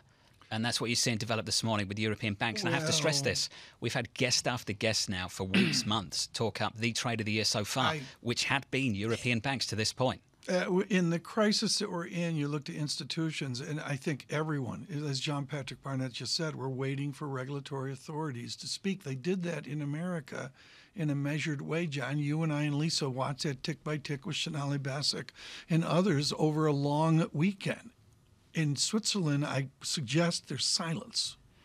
You know, there's no other way to uh, put it. Right now, we're going to do, uh, John, continue to monitor Credit Suisse because I think. Yeah, I'll keep working at Bloomberg. Credit Suisse right now down 21%, Tom, 177. It's going to be interesting to see. We are well timed here. Joining us is David Rubenstein. You know him, of course, from the Carlyle Group, his public service to the nation and the Carter administration. And David Rubenstein, peer to peer conversations. And as David knows, I want to say we'll rip up the script. Today, we're going to rip up the script. I've got eight ways to go here. You, with your philanthropy, have a wonderful linkage between financial elites and the government. In America, we've seen the government begin to step in in this crisis. Are you surprised that European and particularly Swiss authorities have not stepped in on Credit Suisse? I am surprised that nothing has happened yet, but it took a day or two for the United States to get uh, its act together, so I suspect it'll take a day or two there. But remember, the U.S. regulatory scheme is much different than the Swiss one or the European one. And so we have one regulatory scheme, more or less, in the United States. They have many different ones in Europe. And I don't think the Swiss authorities have quite the authority Mhm. over the banking system that the U.S. one does have over our banking system. David, that's what I wanted to go to. What would you suppose stepping in looks like in Switzerland? What does that look like? Well, what we did in the United States is we protected depositors. So we didn't protect creditors, and we didn't protect shareholders, and we didn't pr- protect really employees. Um, I suspect the Swiss situation is more complicated because the existence of the bank is more at stake uh, here, and it's such a well-known bank around the world that I think the Swiss authorities have uh, to worry more than just about the depositors. Uh, the chairman of the Swiss of the Saudi National Bank, who I do know, uh, made a statement that you broadcast recently, uh, saying that they were not going to put more money in, and that would probably a, a bit of a blow to Credit Suisse. Were you surprised by that? That he said that out loud on the record? I was surprised by it. I just uh, saw him a few weeks ago, and um, I think uh, you know they have a lot of authority in uh, uh, in uh, Swiss, the Saudi National Bank, and I suspect they they wanted to protect their investment, but obviously there's a reason why they're not doing that. Well, there's a theory that perhaps Middle Eastern investors would want to come in and help Credit Suisse more substantially, not just because they think it's a good investment, so that they could do business and have that be the European node. Is that basically off the table based on the very public comments that we heard earlier this morning?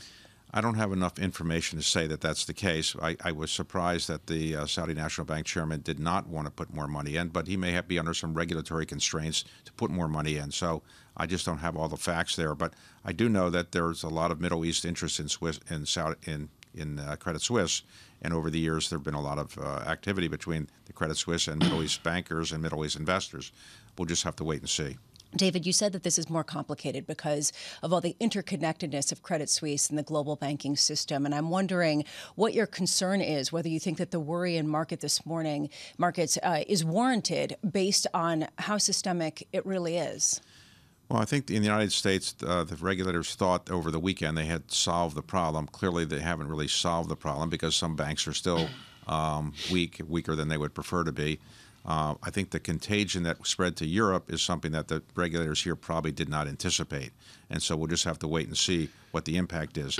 right now, the U.S. banking system is in pretty good shape. There's obviously some weak banks, but ba- basically, we don't have a systemic run on the major banks in the United States.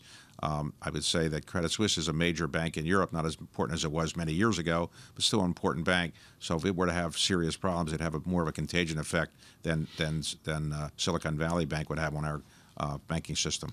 Some people talk, other people do. In March of 2008, you did. Carlyle Capital, to be polite, was challenged, to be polite about it.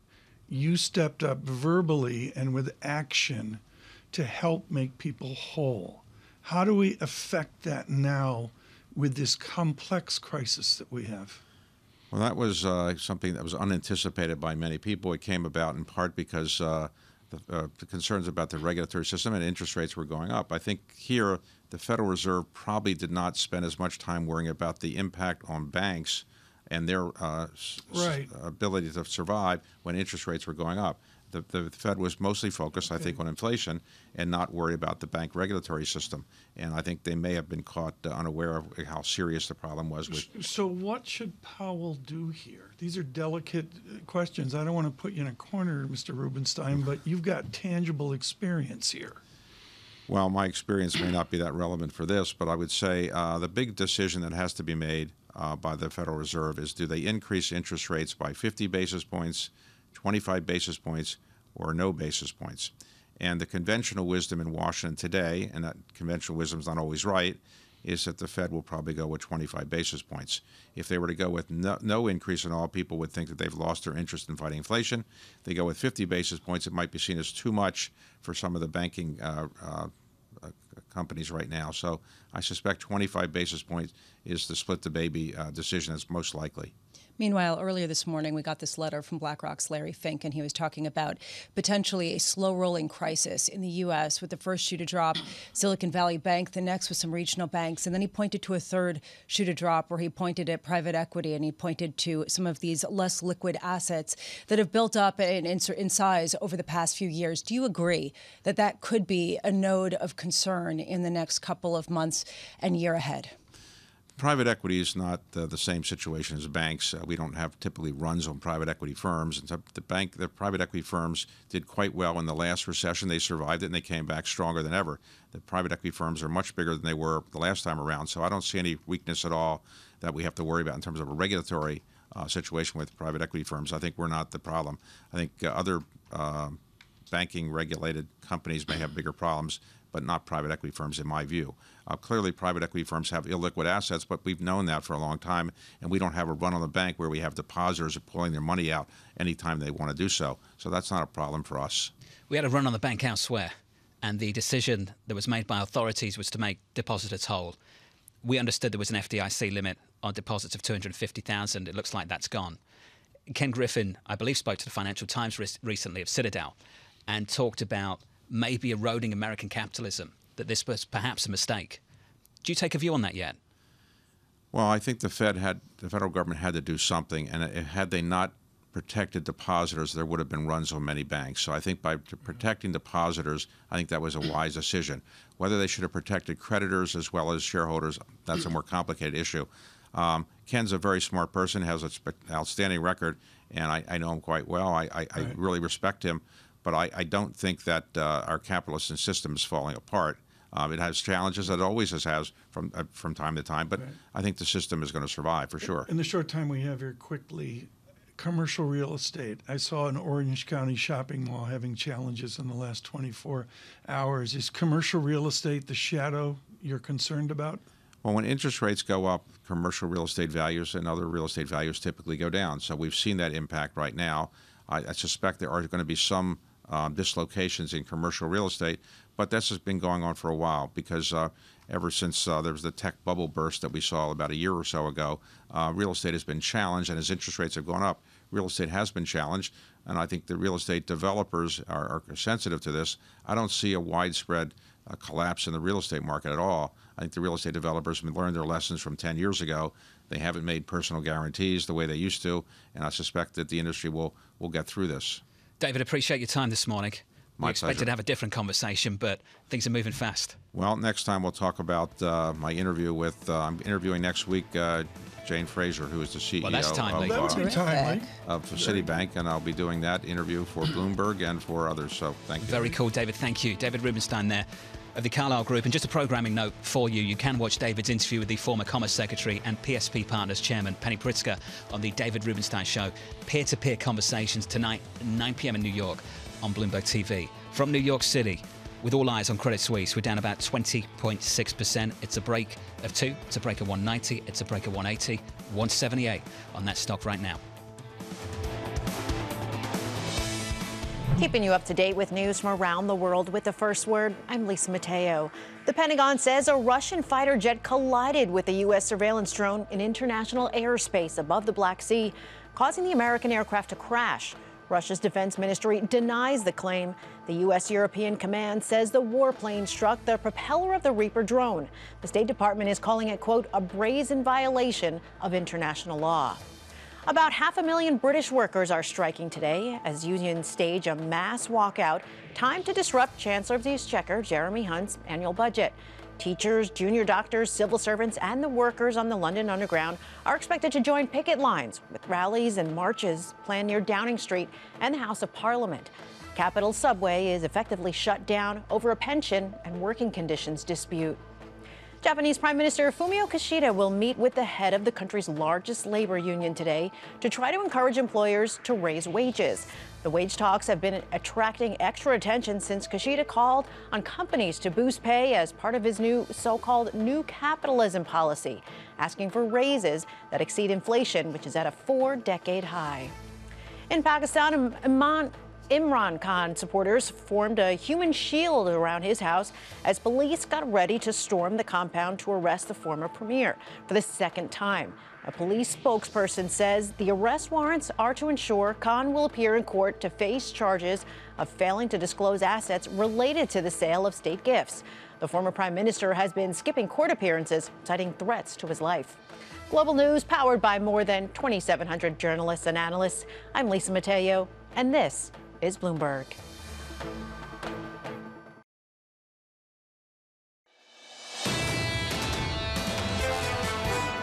I'm wondering whether you would be open to assisting further if there was another call for additional liquidity from Credit Suisse. The answer is absolutely not, for many reasons, outside the simplest reason, which is regulatory and statutory.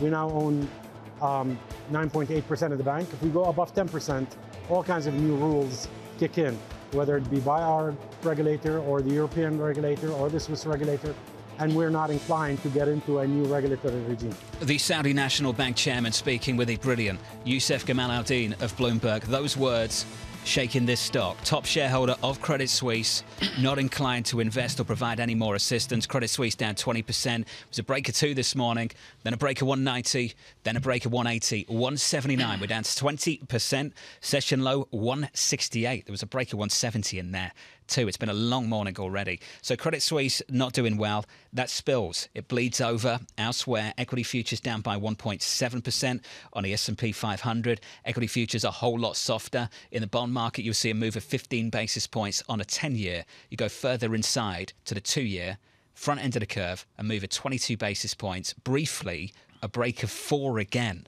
on a 2-year. 4.02% in America on a two year treasury. And Tom, just to have a look at Germany briefly, down 27 basis points yeah. there, 262. Next week is Chairman Powell. Tomorrow, it's President Lagarde. Yeah, the global contagion here of Credit Suisse. There's no question. We saw that earlier this morning. Right now, stasis in the stock trading at a 179. The technicals is mostly a dearth of selling going on now. That's different than two hours ago just a touch of buying on Credit Suisse, but the sellers are clearly uh, paused here to see for more information. Speaking of information and with an old world perspective, we are thrilled to have one of our good friends back. Nouriel Roubini is the CEO of Roubini Macro Associates, but far more than that, someone who brilliantly was out front of previous crises. We'll keep the uh, introduction short uh, this morning. Nouriel, good morning to you. How is this crisis different than 98? How is this crisis different than 2008? Well, compared to 2008, right now, we don't have the credit risk yet. We're not in a recession, and the losses that occurred seem to be related to market risk.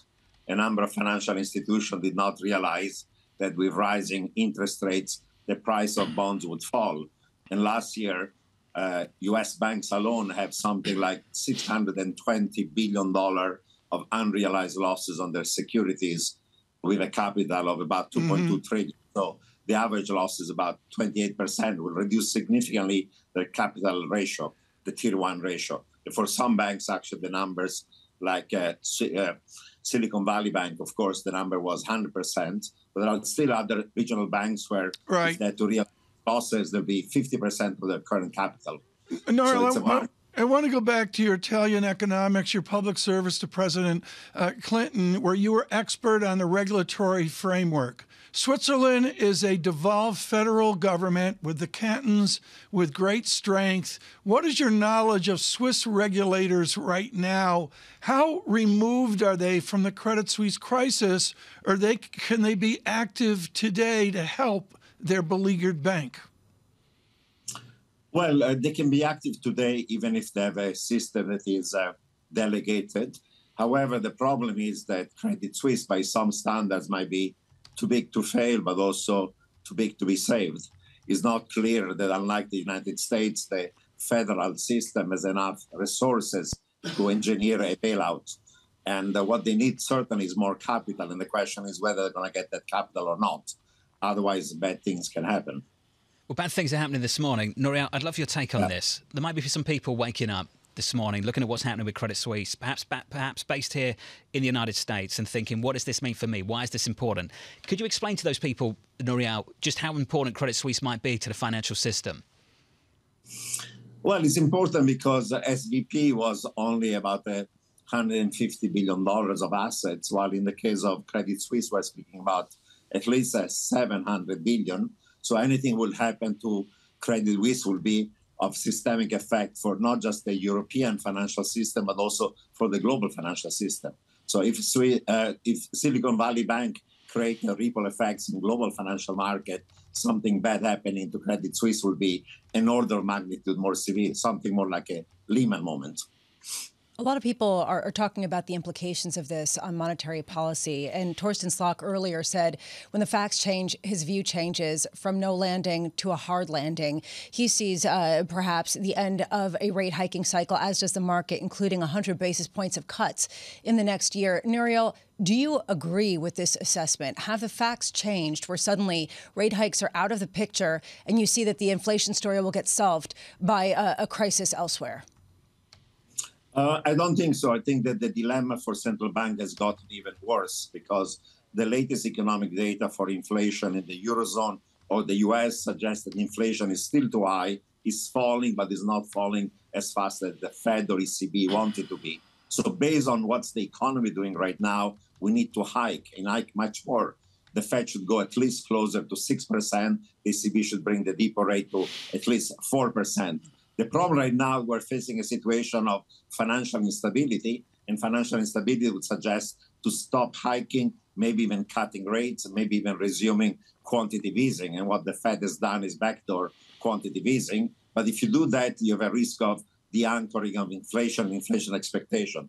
That trade-off existed even before. Raising rates would have led to stresses in financial market, like last year, where bond yields uh, went much higher, credit spread widened, that stress is becoming more severe today because now we have systemic financial problems, but we are also in a situation inflation is staying way too high. And the idea that this financial stress is going to cause inflation to drop is not yet in the economic data. So there is a dilemma for central banks. Although a lot of people are saying that they see credit conditions tightening. We heard earlier from Larry Fink of BlackRock saying that he sees a slow rolling crisis that's going to move from the banking system to private credit, to private equity. How does your view kind of tie into this, a sort of inherent credit tightening that we see across a whole host of assets? Certainly, there's going to be a tightening of financial conditions, at least in terms of credit spreads bond yields are falling, but on the short and long end, that's an easing of financial condition that eventually might lead to an economic slowdown. But the reality is inflation today is way too high and is going to remain too high because the forces that are leading to high inflation, like, for example, very tight labor market, are still with us. And therefore, that's going to be a cause of persistent inflation. And the idea that eventually tightening of financial conditions is going to cause a slowdown of the economy and a weakening of inflation is not yet in the data. So there is a really contradiction between achieving economic stability and lower inflation and maintaining financial stability today. What a conflict. What a conflict. Nuri, I've got 45 seconds left. I wanted to give the opportunity to try and answer this. Banks found out that a risk was where they thought the safety was. Nouriel, where's the safety now? Well, the safety is not in long-term treasuries. I've been writing for it for over a year. You know, if average inflation were to be, say, 5%, 10-year treasury eventually have to be 7%. Today, they're around 3.5. Last year, you lost 20% on your safe bonds, more than you lost on your S&P because yield went from 1 towards 3. If they go from 3.5 to 7 over the medium term, there'll be further bloodbath on $20 trillion of long-duration risk assets. The solution is going to be short-term treasury, tips, gold, precious metals, and other hedges against inflation. That's where you have to uh, go. And investors only now started to realize it, that that's where you have to do. It's going to be a conversation you and I have, the whole of this team, for a long time. Nouriel, thank you, sir. Nouriel Roubini there of Roubini Macro Associates, and Tom, of course, the author of mega well, threats. Yeah, mega threats. And then there's a chapter where Roubini was typically three years out front of everybody else. I'm not going to bore people with my Davos story with Nor- Nouriel before the financial crisis. There's no time for that. But he talked about the easy money trap. And that's what Taleb was talking about when he said the gravity's returned to the system. And you know, I'm I'm going to be blunt, and it's not just us. It's the you know we got 45 people in the control room, and it's just I'm I'm sorry, John. It is critical how out front our bookers, our team has been on the gravity returning to the system this year in full force. We've got a fantastic guest lined up for you next. Lisa Shalett of Morgan Stanley. That's coming up next. Equity futures down 1.75% on the S&P. Credit Suisse lower by 20% from New York. This is Bloomberg.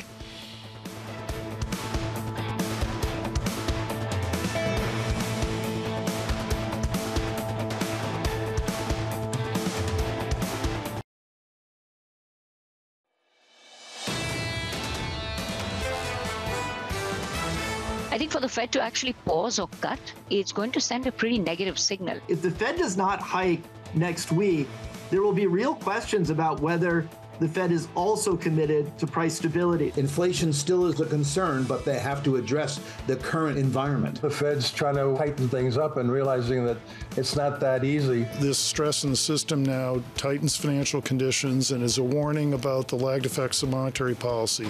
This is Bloomberg Surveillance with Tom Keene, Jonathan Ferro, and Lisa Abramowicz.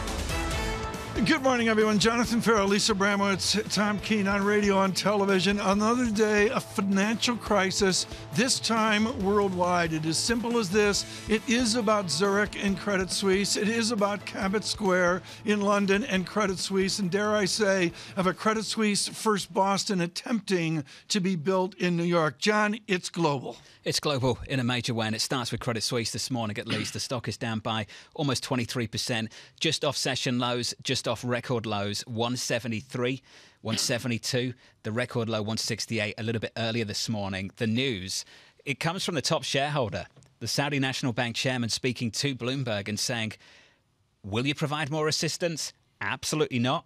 For many reasons outside the simplest reason, which is regulatory and statutory. We understand the regulatory issues of crossing that 10% threshold as a shareholder. But, Tom, again, I've said it repeatedly, we all have through this morning, to say that out loud when the stock is down as much as it is and now it's down even more. I'm going to interrupt for technical, uh, for radio rather, and technical analysis. The stock is well contained and trending down, a straight line pause at 177. And moments ago, when John Ferro began speaking, the stock went lower, 170, 1.70, perhaps to test 1.68. John, I don't understand what U.S. regulators of Credit Suisse in, in New York and what FSA and the like do in London at Cabot Square. What do they do? Dial 1 800 Swiss National Bank and say, let's go? And no idea. And what are they meant to do? What's anyone meant to do at this point? Is there a solution? Do they need a solution? I've got no idea. I won't speak for the regulator. It's not the time. I think we've got to have some cool heads here looking at this name, which is really taken a major, major hit in today's session. The monetary policy question is fascinating. President Lagarde's got to go tomorrow. She pre committed to 50, Right. basically. Will she go with 50? Next week is Chairman Powell. I keep saying this in a world where a bank seemingly can just break, snap in 24 hours. A week is a long time for this chairman. A week ago today, we opened this program and we were talking about do we go 50? How low is the bar for that? I think the bar is monster, monster high to go Well- 50 next week, Tom, even with the data. we've Maybe had. we're going to get a test here in a moment. 1.68 right now. We'll get a new low here in a bit. Lisa, what have you learned this morning? What have you learned in the last hour? that the bank contagion, or at least the fear of it, is anything but gone. People had hoped for stability. That is off the table. We are now pricing in 100 basis points of rate cuts in the next 12 months, even sooner than that. How much do we get a response from central banks? And is the tightening, I mean, to Nouriel Roubini's point earlier, this question of we still have an inflation problem. Otherwise, we'd be talking about CPI, PPI coming out in half an hour, retail sales coming out in a half an hour, labor market that's running hot. How do you deal with the inflation problem at a time where something seems to be breaking and people are very concerned about that? Let's break to the data check right now, John. It's sporting with the VIX. He had four big figures earlier 27.47. So we're sitting on the lows of Credit Suisse's stock. It's down 25%. It's back down to 168 in the last five minutes or so. If you take a look at what's happening in Europe, SocGen is down 13%. BNP Paribas is down 11 or 12%. And this won't be lost on many of you listening, watching. A week ago, we were talking about this being the trade of the year so far. People wanted to own this story. Europe, the economy doing better. The ECB seemingly is going to keep on hiking.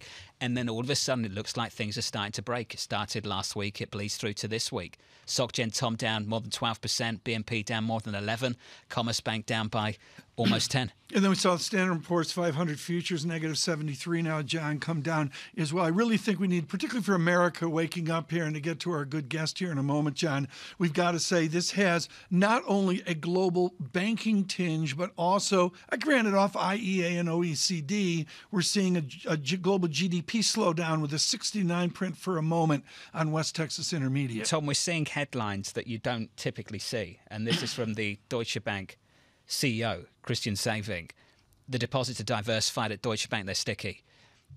That's the kind of moment if you we're have in. to say it. I, I, I agree that that's the kind of moment we're in, that they've got to come out and say these things out loud.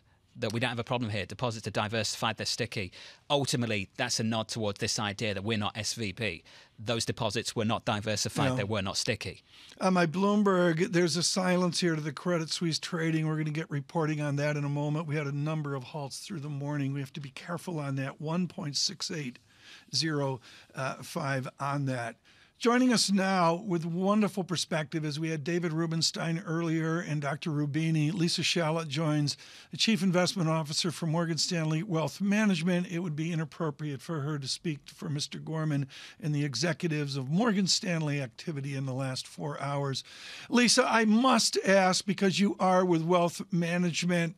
How do you contain the phone calls? How do you contain deposit inflows of a certain flight to quality? Look, I think the most important thing that we're talking to clients about right now is getting folks to understand the difference between what happened in the great financial crisis in 2007 and 2008 and what's happening now. Uh, in 2007, 2008, we had a massive credit problem. Uh, there was a quality of credit, uh, default risk uh, set of issues. Uh, this go round, the the assets that need to be revalued are not, you know, mortgages and real estate. Uh, they are in in many cases, you know, sovereign bonds of governments. Uh, and those are very different things. And so, you know, for the handful of banks that have found themselves in a, a situation where their funding model on the asset side of their balance sheet uh, you know, needs to be or or should have been more aggressively marked and and risk managed. Uh, that's really the issue. What what is fascinating here is the role of psychology, right? When you get bank runs, when you get depositors starting to worry about uh, you know the integrity of their deposits that is a very different very different dynamic and i could suggest to you that there is a scenario where you know the situation at silicon national bank did not have to happen uh, if all of the folks uh, who were the major deposit holders, who were major holders of loans there, who were major account holders, didn't suddenly in mass decide uh, not only to all withdraw at the same time, but to literally put that on social media as uh, an action. Uh, you know that we are living in very, very different times, Yep. and um, we have to kind of understand how important it is uh, the role that regulators play, the role that uh, you know capital reserves and capital buffers play, and how important you know having uh, the integrity of those stress tests uh, is. And so we talk about you know there are the haves and and you know the less haves, uh, and the folks who've really you know been put through those paces uh, and those stress tests, and the folks who have been allowed uh, because of their size or their organizational structure uh, to perhaps experience, you know, quote unquote, a lighter touch of that regulatory oversight. Lisa, there is a back of the envelope conversation happening right now. Maybe it's too simplistic, but it goes a little something like this. After what we saw develop in the United States last week, the focus quickly went back on duration risk, the mismanagement of interest rate exposure, interest rate risk. And Lisa, because of that, I think given the losses you've seen in treasuries over the last 12 months, people just instantly said, well, wait a minute. What about Europe and what we've seen develop there in the last year, Lisa? Can you speak to that? Uh, yeah, look, I, I think, um, you know, this is a huge wake up call. It's a wake up call, however, uh, that that shouldn't be a brand new thing.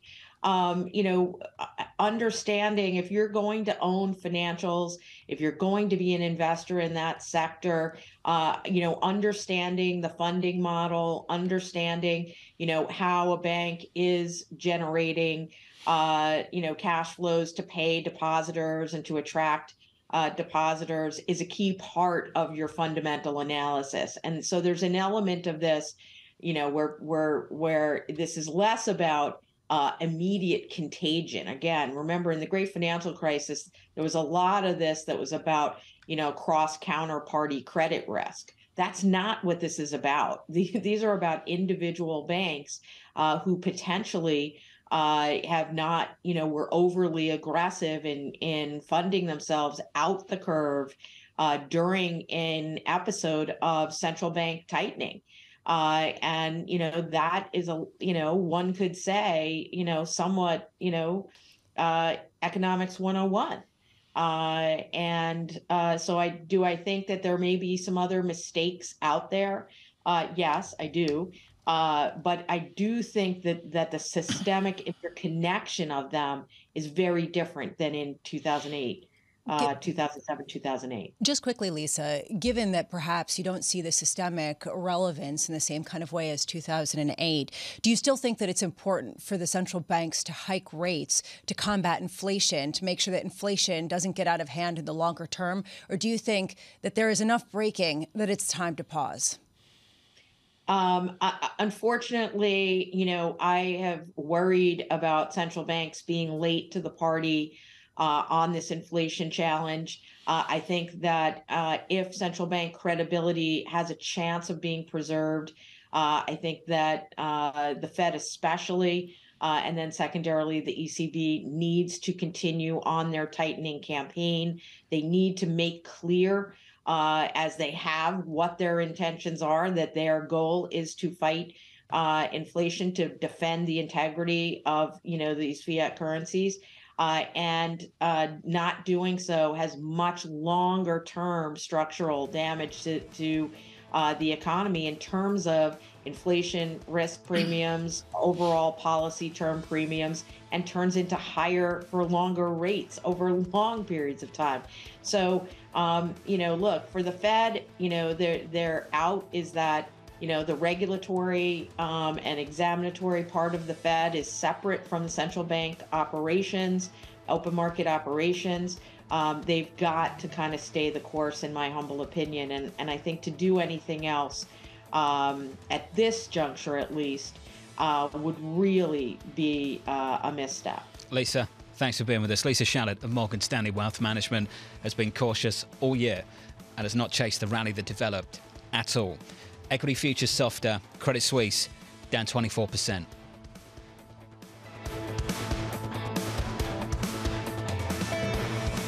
Keeping you up to date with news from around the world with the first word, I'm Lisa Mateo. The International Energy Agency says global oil markets are contending with a surplus as Russian production defies predictions of a slump and fuel demand slowly picks up. Oil stockpiles have climbed to the highest in 18 months, with Russia increasing output last month despite warnings it would buckle under international sanctions. The IEA has boosted its Russian output estimate by 300,000 barrels a day. Credit Suisse's chief executive officer says the bank had seen inflows of client funds on Monday after markets and U.S. banks were pummeled by the collapse of Silicon Valley Bank. So far, it's pretty calm. Um, we even saw material good inflows yesterday still. Um, also, you know, I had a client meeting which was very positive on that one. So, so far it's calm, but I think it's early days to, to look at that. Ulrich Körner spoke exclusively to Bloomberg. Global news powered by more than 2,700 journalists and analysts in over 120 countries. I'm Lisa Mateo, and this is Bloomberg.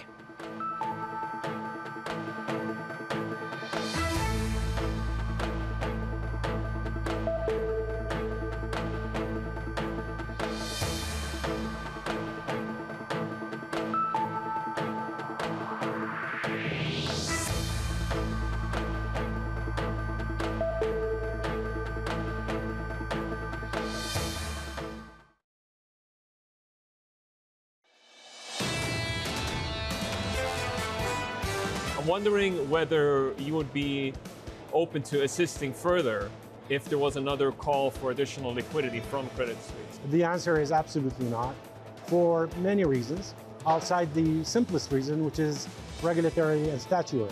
We now own 9.8% um, of the bank. If we go above 10%, all kinds of new rules kick in, whether it be by our regulator or the European regulator or the Swiss regulator, and we're not inclined to get into a new regulatory regime. I wonder if we get a clarification on those remarks before the day is out.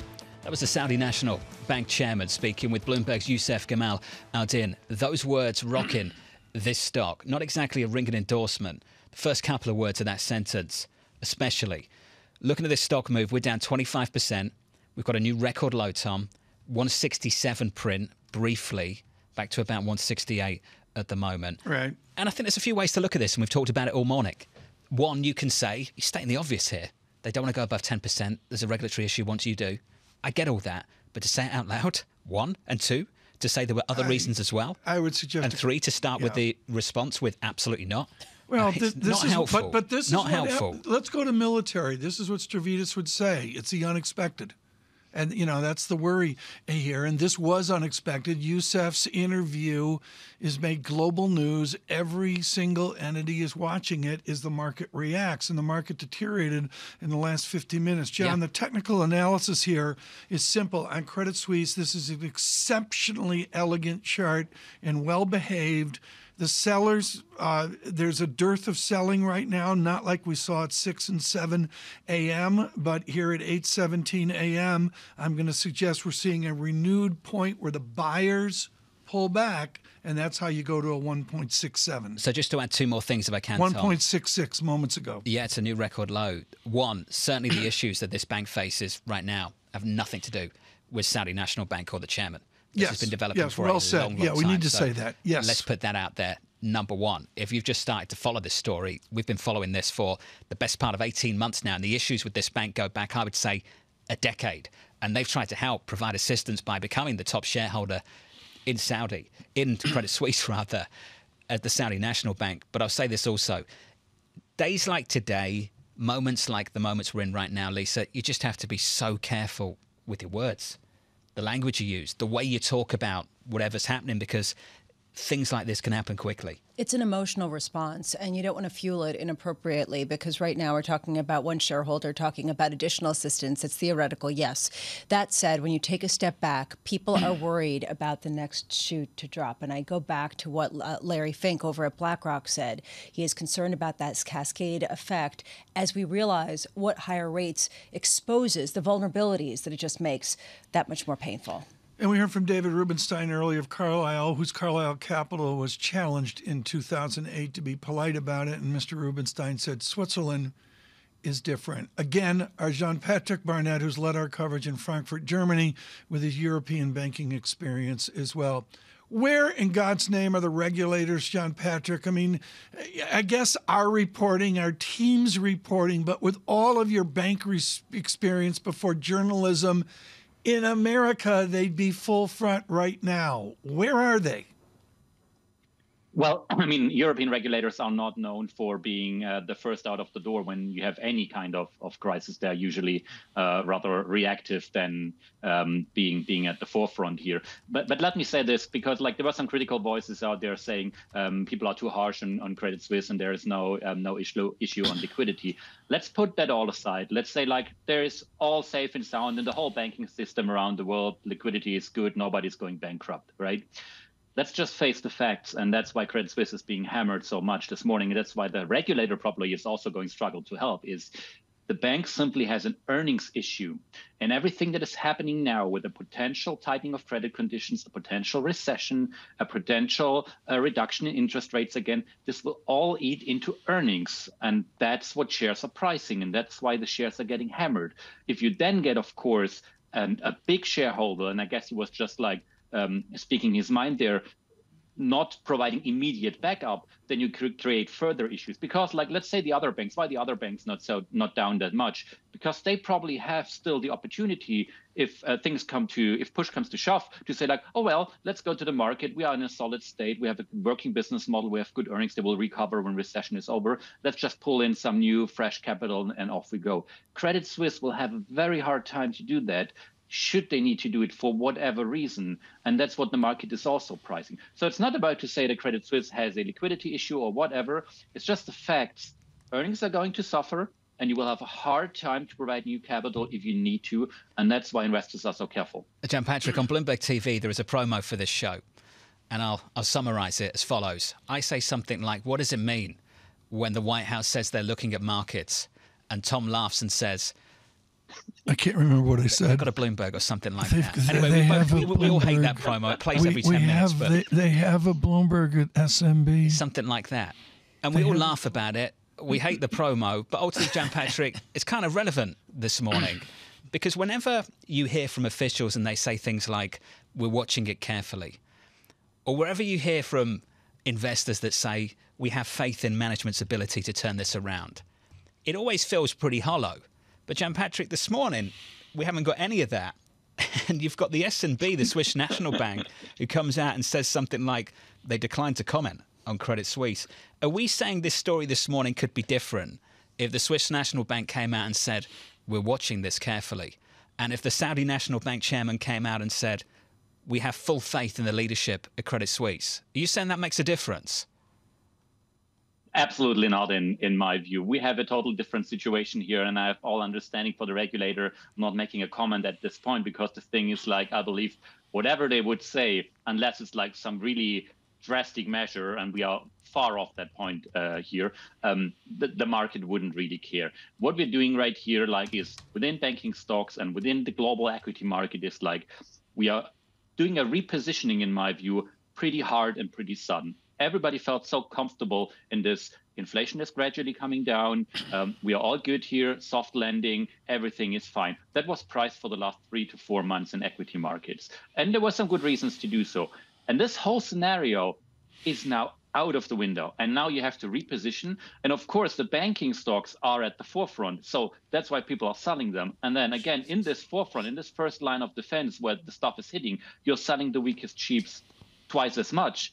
And sorry to say so, no offense to Credit Suisse, but among the banking crowd, it is the weakest stock at this moment for everything I said before earnings impact uh, back up from potential investors. So it all makes sense. And the regulator and politicians in general, they can do very little to change that, right? Because the, the market forces yeah. on the economy will just play out at so this point. And when it becomes very big, bad, then we will see if they have to do something to to uh, give us a little bit of a lifeline here. Jan Patrick, just quickly here, how thick is the line between a profitability issue and a liquidity issue? Well, it is thick, but I would say like it's not that thick that we have to immediately talk about like a liquidity problem for, for Credit Suisse. European banks have uh, lots of access to liquidity. Credit Suisse has tons of deposits, and I'm not seeing that the, the classic Credit Suisse client is running away immediately. Still, it can be an issue down the road. And of course, every bank is now making sure that their shop is in order. Um, and Credit Suisse probably has, again, here a harder time than other European banks um, bringing across that message to its clients. It's a tough time, not just for the clients, but for the people working there too. Jan Patrick Barnert, thank you. on the latest from Bloomberg, Credit Suisse down 26%. New low, Tom. 164. We've said it repeatedly. Well, we all know people who work at Credit Suisse, immensely talented individuals. Imagine trying to work through this this morning and engage with clients. Well, you do work that, looking at this. That's the heart of the stock. matter. In New York, down at Madison Avenue, at Cabot Square in London, etc. How do you engage a conversation? Uh, right now, 168, make it maybe 169, bouncing off a 164 uh, low. Sellers are really on strike here. It's just a dearth of buying, is is what I see. I was using my vast German knowledge, uh, John. Folge dem Geld which is follow the money. And, you know, John Patrick was talking there about profitability. I would be talking about flows right now. I think, immediate flows. And it's not just this bank, there's many other banks where that's the case. I think that's the question. You know, when does this become not just a profitability issue, but something I that it's is more significant? And I think that that's what you're seeing the tension in shares of other European and US banks. Conversation continues in the next hour on Bloomberg TV. Julian Emanuel of Evercore, Emily Roland of John Hancock Investment Management, Bob Michele at JP Morgan. Looking forward to that conversation in the next hour on Bloomberg TV. Futures right now on the S&P down 1.75%. We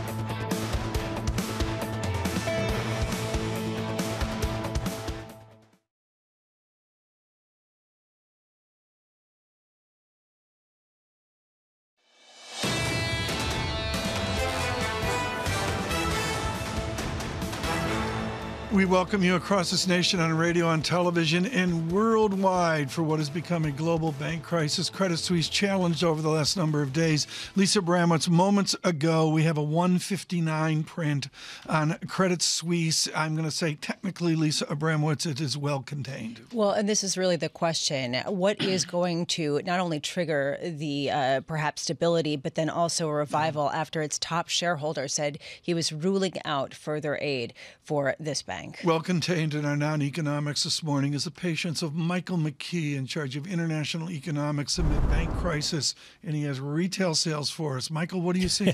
We've got PPI and retail sales. Let's start with retail sales. The consumer stopped spending in February, it appears. Uh, retail sales headline number down four tenths. X autos is down one tenth. Uh, and if you take the control group, uh, there is some better news because that was up half a percent. The expectation was for a fall of three tenths. Last month, the uh, number for the control group mm-hmm. was revised higher uh, significantly to 2.3% from 1.7%. All of the numbers for last month revised uh, uh revised higher. Uh, the headline retail sales was up 3.2%. The original report was 3%. Right. So generally with retail sales, you tend to average out over a couple of months, and it does show that Americans were still spending. They did pull back in some areas. PPI down a tenth of a percent. It was forecast to go up three tenths, and it rose seven tenths in January. So there's some good news. The core rate is flat after a half percent gain last month and a four tenths gain forecast. Right. You take out uh, food, energy, and trade. Trade is not trade, international trade. This is uh, retailers and wholesalers, and uh, it's their profit margins. That's up two tenths mm-hmm. of a percent, down from six tenths, but it does show. Uh, right. So it shows some uh, fall there uh, on a year-over-year basis. Four point six percent for the headline, four point four percent for the core. Uh, right, we're going to juggle oh, this. Uh, ju- uh, Tom, I got to throw this in there, please, because this may move the markets. Empire Manufacturing. Yeah, I saw that. Down twenty four point six is uh, right. the number. It was negative 5.8. Now it's negative 24.6. So uh, real dry right. up there in uh, the Empire manufacturing numbers. New orders okay. plunged down to negative 21. We're going to do this differently this time because we've got a number of moving uh, stories here and an exceptionally esteemed guest to join us in uh, seconds here. Mike, I want to move away from this economic data to your interpretation and reading in the last 24 hours of how this Fed will respond to your economic data and our financial crisis. What would you guess they will do? Well, I don't think the data today makes any difference to the Fed. The empire is a sort of tertiary index, and retail sales uh, show Americans are still hanging in there, but maybe spending a little less, which they'd like mm-hmm. to see some demand well, come down. And PPI isn't going to uh, change anybody's minds because right. it's it's come down. Right. So therefore, that puts Mike, 25. Mike, you and I look at retail, we look at Credit Suisse, Bramo looks at the two year. Yeah, that's what we all should be looking at because what you're seeing is a complete breakdown down below 4%, 3.88%, as basically this is a market that has looked at PPI, inflation in the factories coming down much more than expected, retail sales diminishing as expected, and then a weak empire yeah. manufacturing print. We are looking at a market that's pricing out any further rate hikes and pricing well, 100 basis basis points or more of rate cuts. But you're a tennis fan, right? I know you like tennis, and this is like going back and forth with the uh, the bond trading. I mean, bond traders got to be going crazy. Their uh, their accountants are happy well, because, of course, volatility is good for profits. But it's hard to get a read on what's going on with the economy when you're just looking at yields right now because they're being pushed around so well, much by all kinds of news. The, uh, so, the where will they be a week from today. The yield on the published dividend of Credit Suisse continues to rise as the price declines uh, 1.6. Uh, Well, I think we maybe even have. I, will stop trading. I'm going to be very careful here in Credit Suisse. The low is 1.5975 quickly. Well, to that point, if you take a look at German two-year yields, dropping like a stone as well, 2.54 percent. Again, what does this mean? Is this economic data enough to write off further rate hikes, or is this a concern about Credit Suisse? Is this a concern about the financial markets? Something right. breaking at a time of potential real fragility. It's a bigger concern for the ECB because they meet tomorrow. The right. Fed has a week. ECB's tomorrow, and we need some experience. Uh, Lisa, it's interesting that Michael McKee is here on what is it, Mike? 15 years back to Bear Stearns, uh, 15 years yesterday. 15 years yesterday, yes. That's me. The most difficult thing here is I would have guessed seven or eight years. I got that wrong.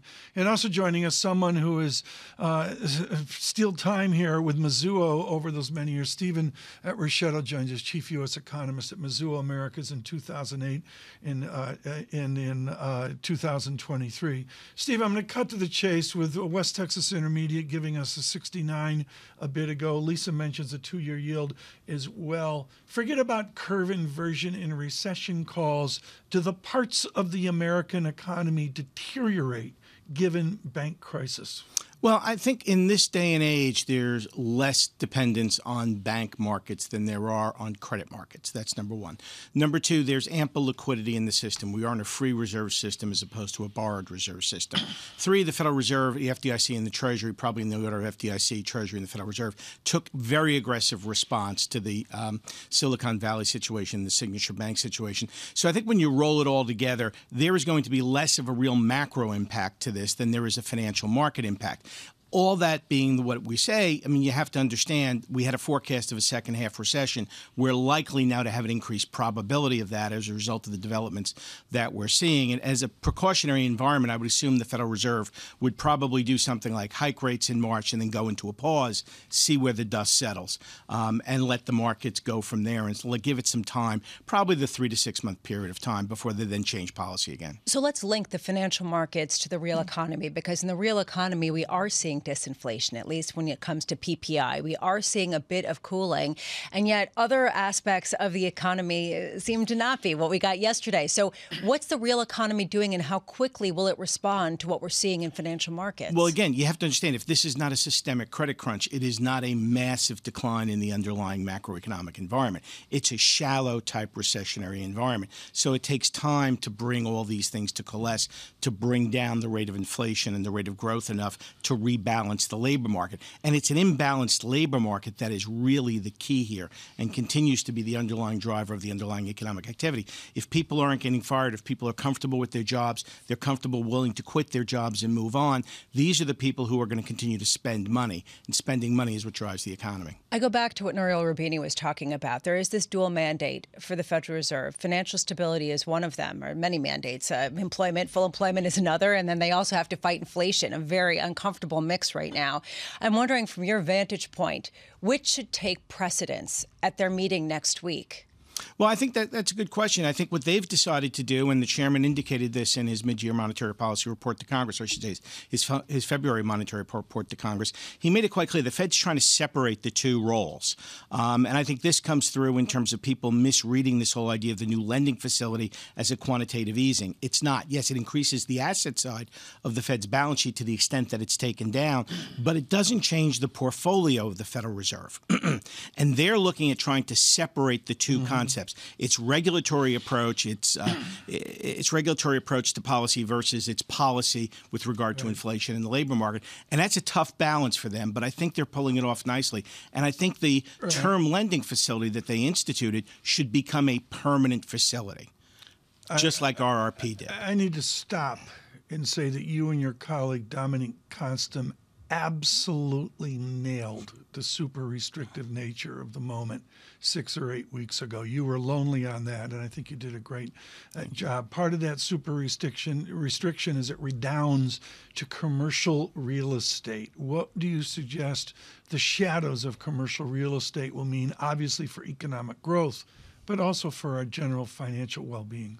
You know, when you're looking at the different areas that lead to underlying economic activity.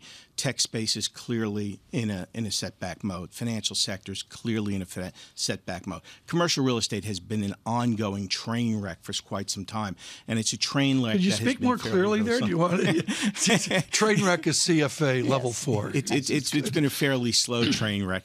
Um, to the extent that it accelerates, you got to remember the banks that are involved in this and the people who are involved in this on the asset side uh, and the investing side all have a, a vested interest in restructuring these deals uh, to in order to make them less of an importance in any one in particular quarter.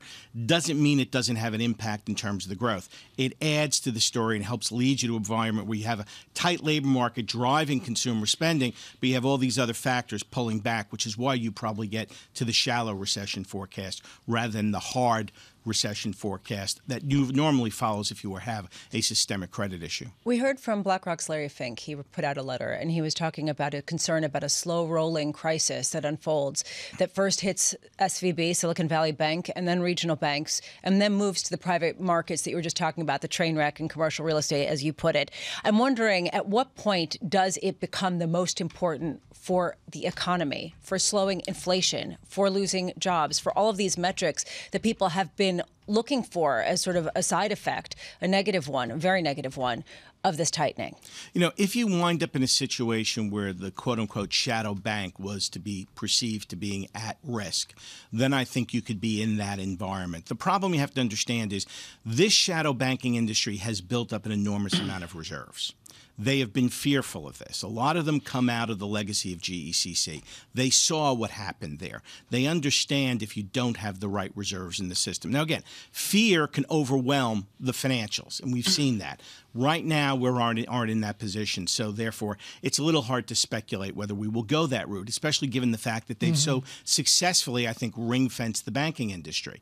You know, this term lending facility, as I said, I think should become permanent. And the reason why is because going to the discount window has become so terribly concerning for any management, right, they won't right, use it. Right. I mean, so, that's all this is. I, I, I, we got. I want to talk to Steve forever. Can we make this happen? Twelve seconds. You're right. It's a new discount window. Period. Correct. And it's a discount discount window that gives you an opportunity to restructure the bank because right. it's a one year term. Okay, you got to stop talking. Markets are going down. Ricchiuto's driving the market lower, is what we see here. Stephen Ricchiuto, Mizuho Americas. Lisa, help me here. The two year yield yield nailed well under 4%, 3.92%. Lisa, look at American oil this morning. Yeah, what you're seeing is at first it was a response to potentially uh, the IEA report coming out that, China, that Russia was pumping a lot more oil than previously expected. Now, this is a, a bigger concern about you know the potential for right. some global slowdown. 69.86 on uh, crude on WTI. We have a breakdown in the equity markets called a two percent move. Standard & Poor's futures 77. John from Coventry emails in says quote the Dow negative 633 on the Dow and the VIX out again four big figures 28.08. Uh, Credit Suisse right now a new low 1.58. Good morning. Keeping you up to date with news from around the world with the first word, I'm Lisa Mateo. Syrian President Bashar al Assad is meeting with Russian counterpart Vladimir Putin in Moscow today as the Kremlin pushes for a Syria Turkey reconciliation. Russia will also host four way talks involving Turkey, Syria, and Iran. And the potential deal opposed by the U.S. comes after China brokered a diplomatic detente between Iran and Saudi Arabia, demonstrating its newfound weight in the region. China reports a rebound in consumer spending, industrial output, and investment this year. The National Bureau of Statistics says retail sales rose 3.5% in January and February compared to the same period last year. Industrial output rose 2.4%. However, the unemployment rate increased, pointing to a weakness in domestic demand. About half a million British workers are striking today as unions stage a mass walkout, time to disrupt Chancellor of the Exchequer Jeremy Hunt's annual budget. Teachers, junior doctors, civil servants, and workers on the London Underground are expected to join picket lines with rallies and marches planned near Downing Street and the Houses of Parliament. The capital's subway is effectively shut down over a pension and working conditions dispute. And Apple is delaying bonuses for some corporate divisions and expanding a cost cutting effort. Bloomberg has learned it will reduce the frequency of bonuses for a portion of Apple's corporate workers. Separately, the company is limiting hiring and leaving additional positions open when employees leave. Managers are also reportedly checking office attendance and curbing travel. Global news powered by more than 2,700 journalists and analysts in over 120 countries. I'm Lisa Mateo, and this is Bloomberg.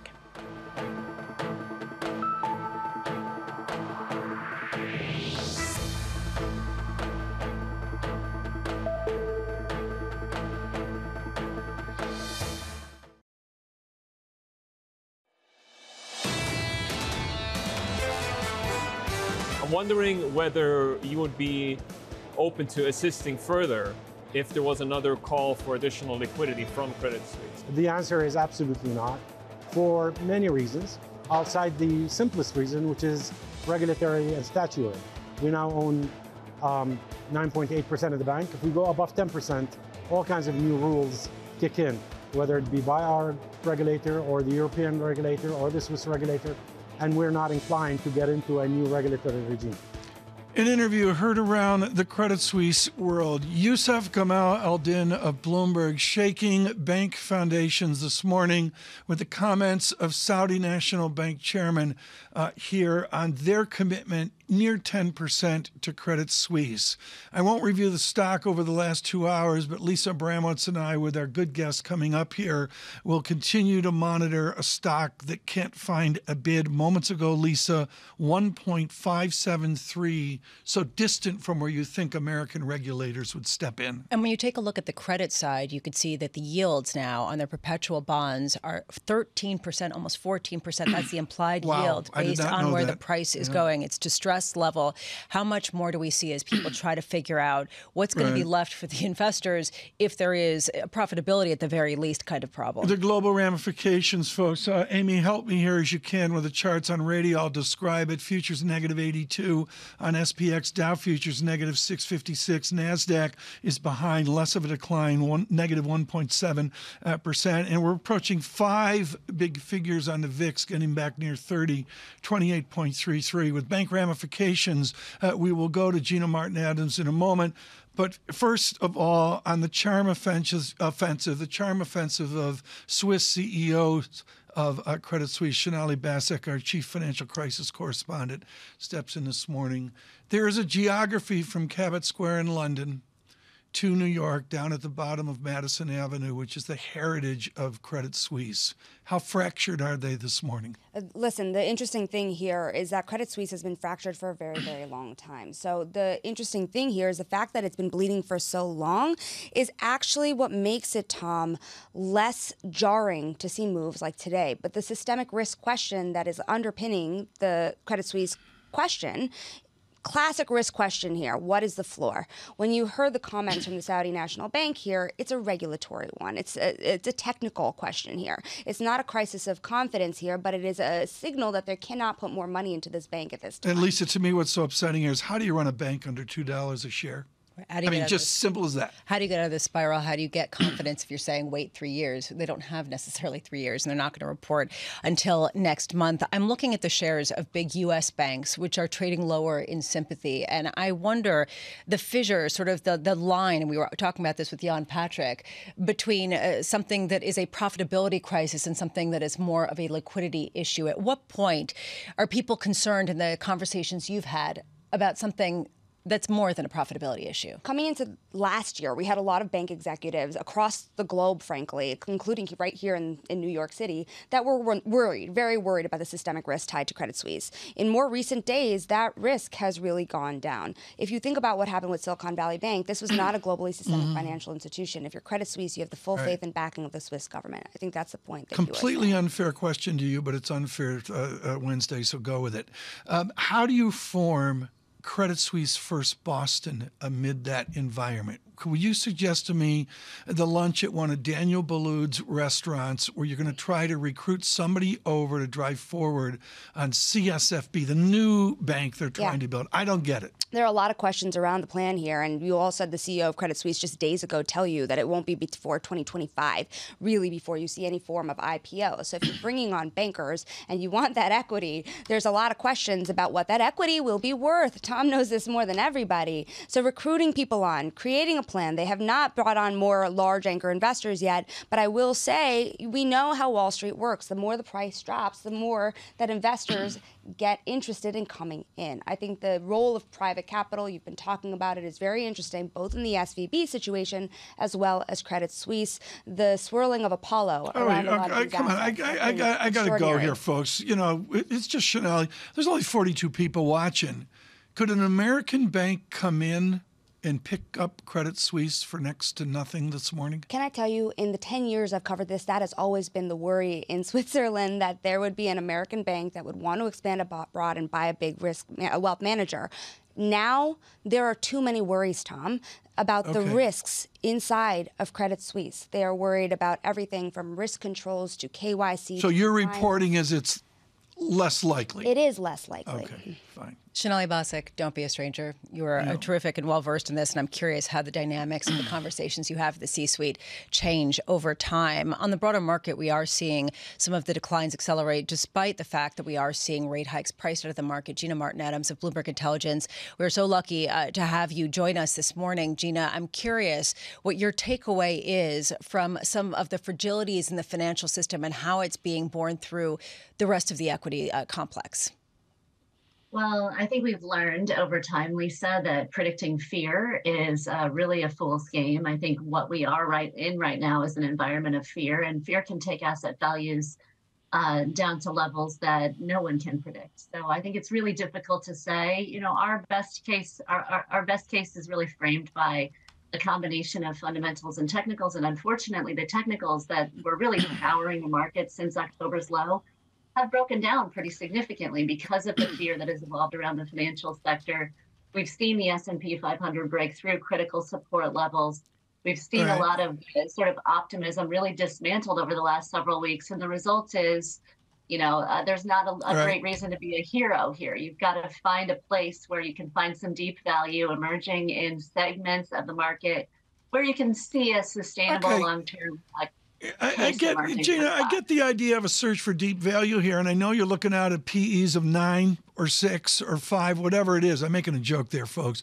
But Gina, the fact of the matter is, people are revaluing and pricing in growthiness, persistent free cash flow, and, and the idea that there are selected companies that dominate within their sectors. Are they going to be are they going to be repriced on a price to earnings basis by price or by increasing earnings? Yeah, I, I think this is an excellent point is what are investors going to be willing to pay for in this kind of environment? And right now they're not willing to pay for anything.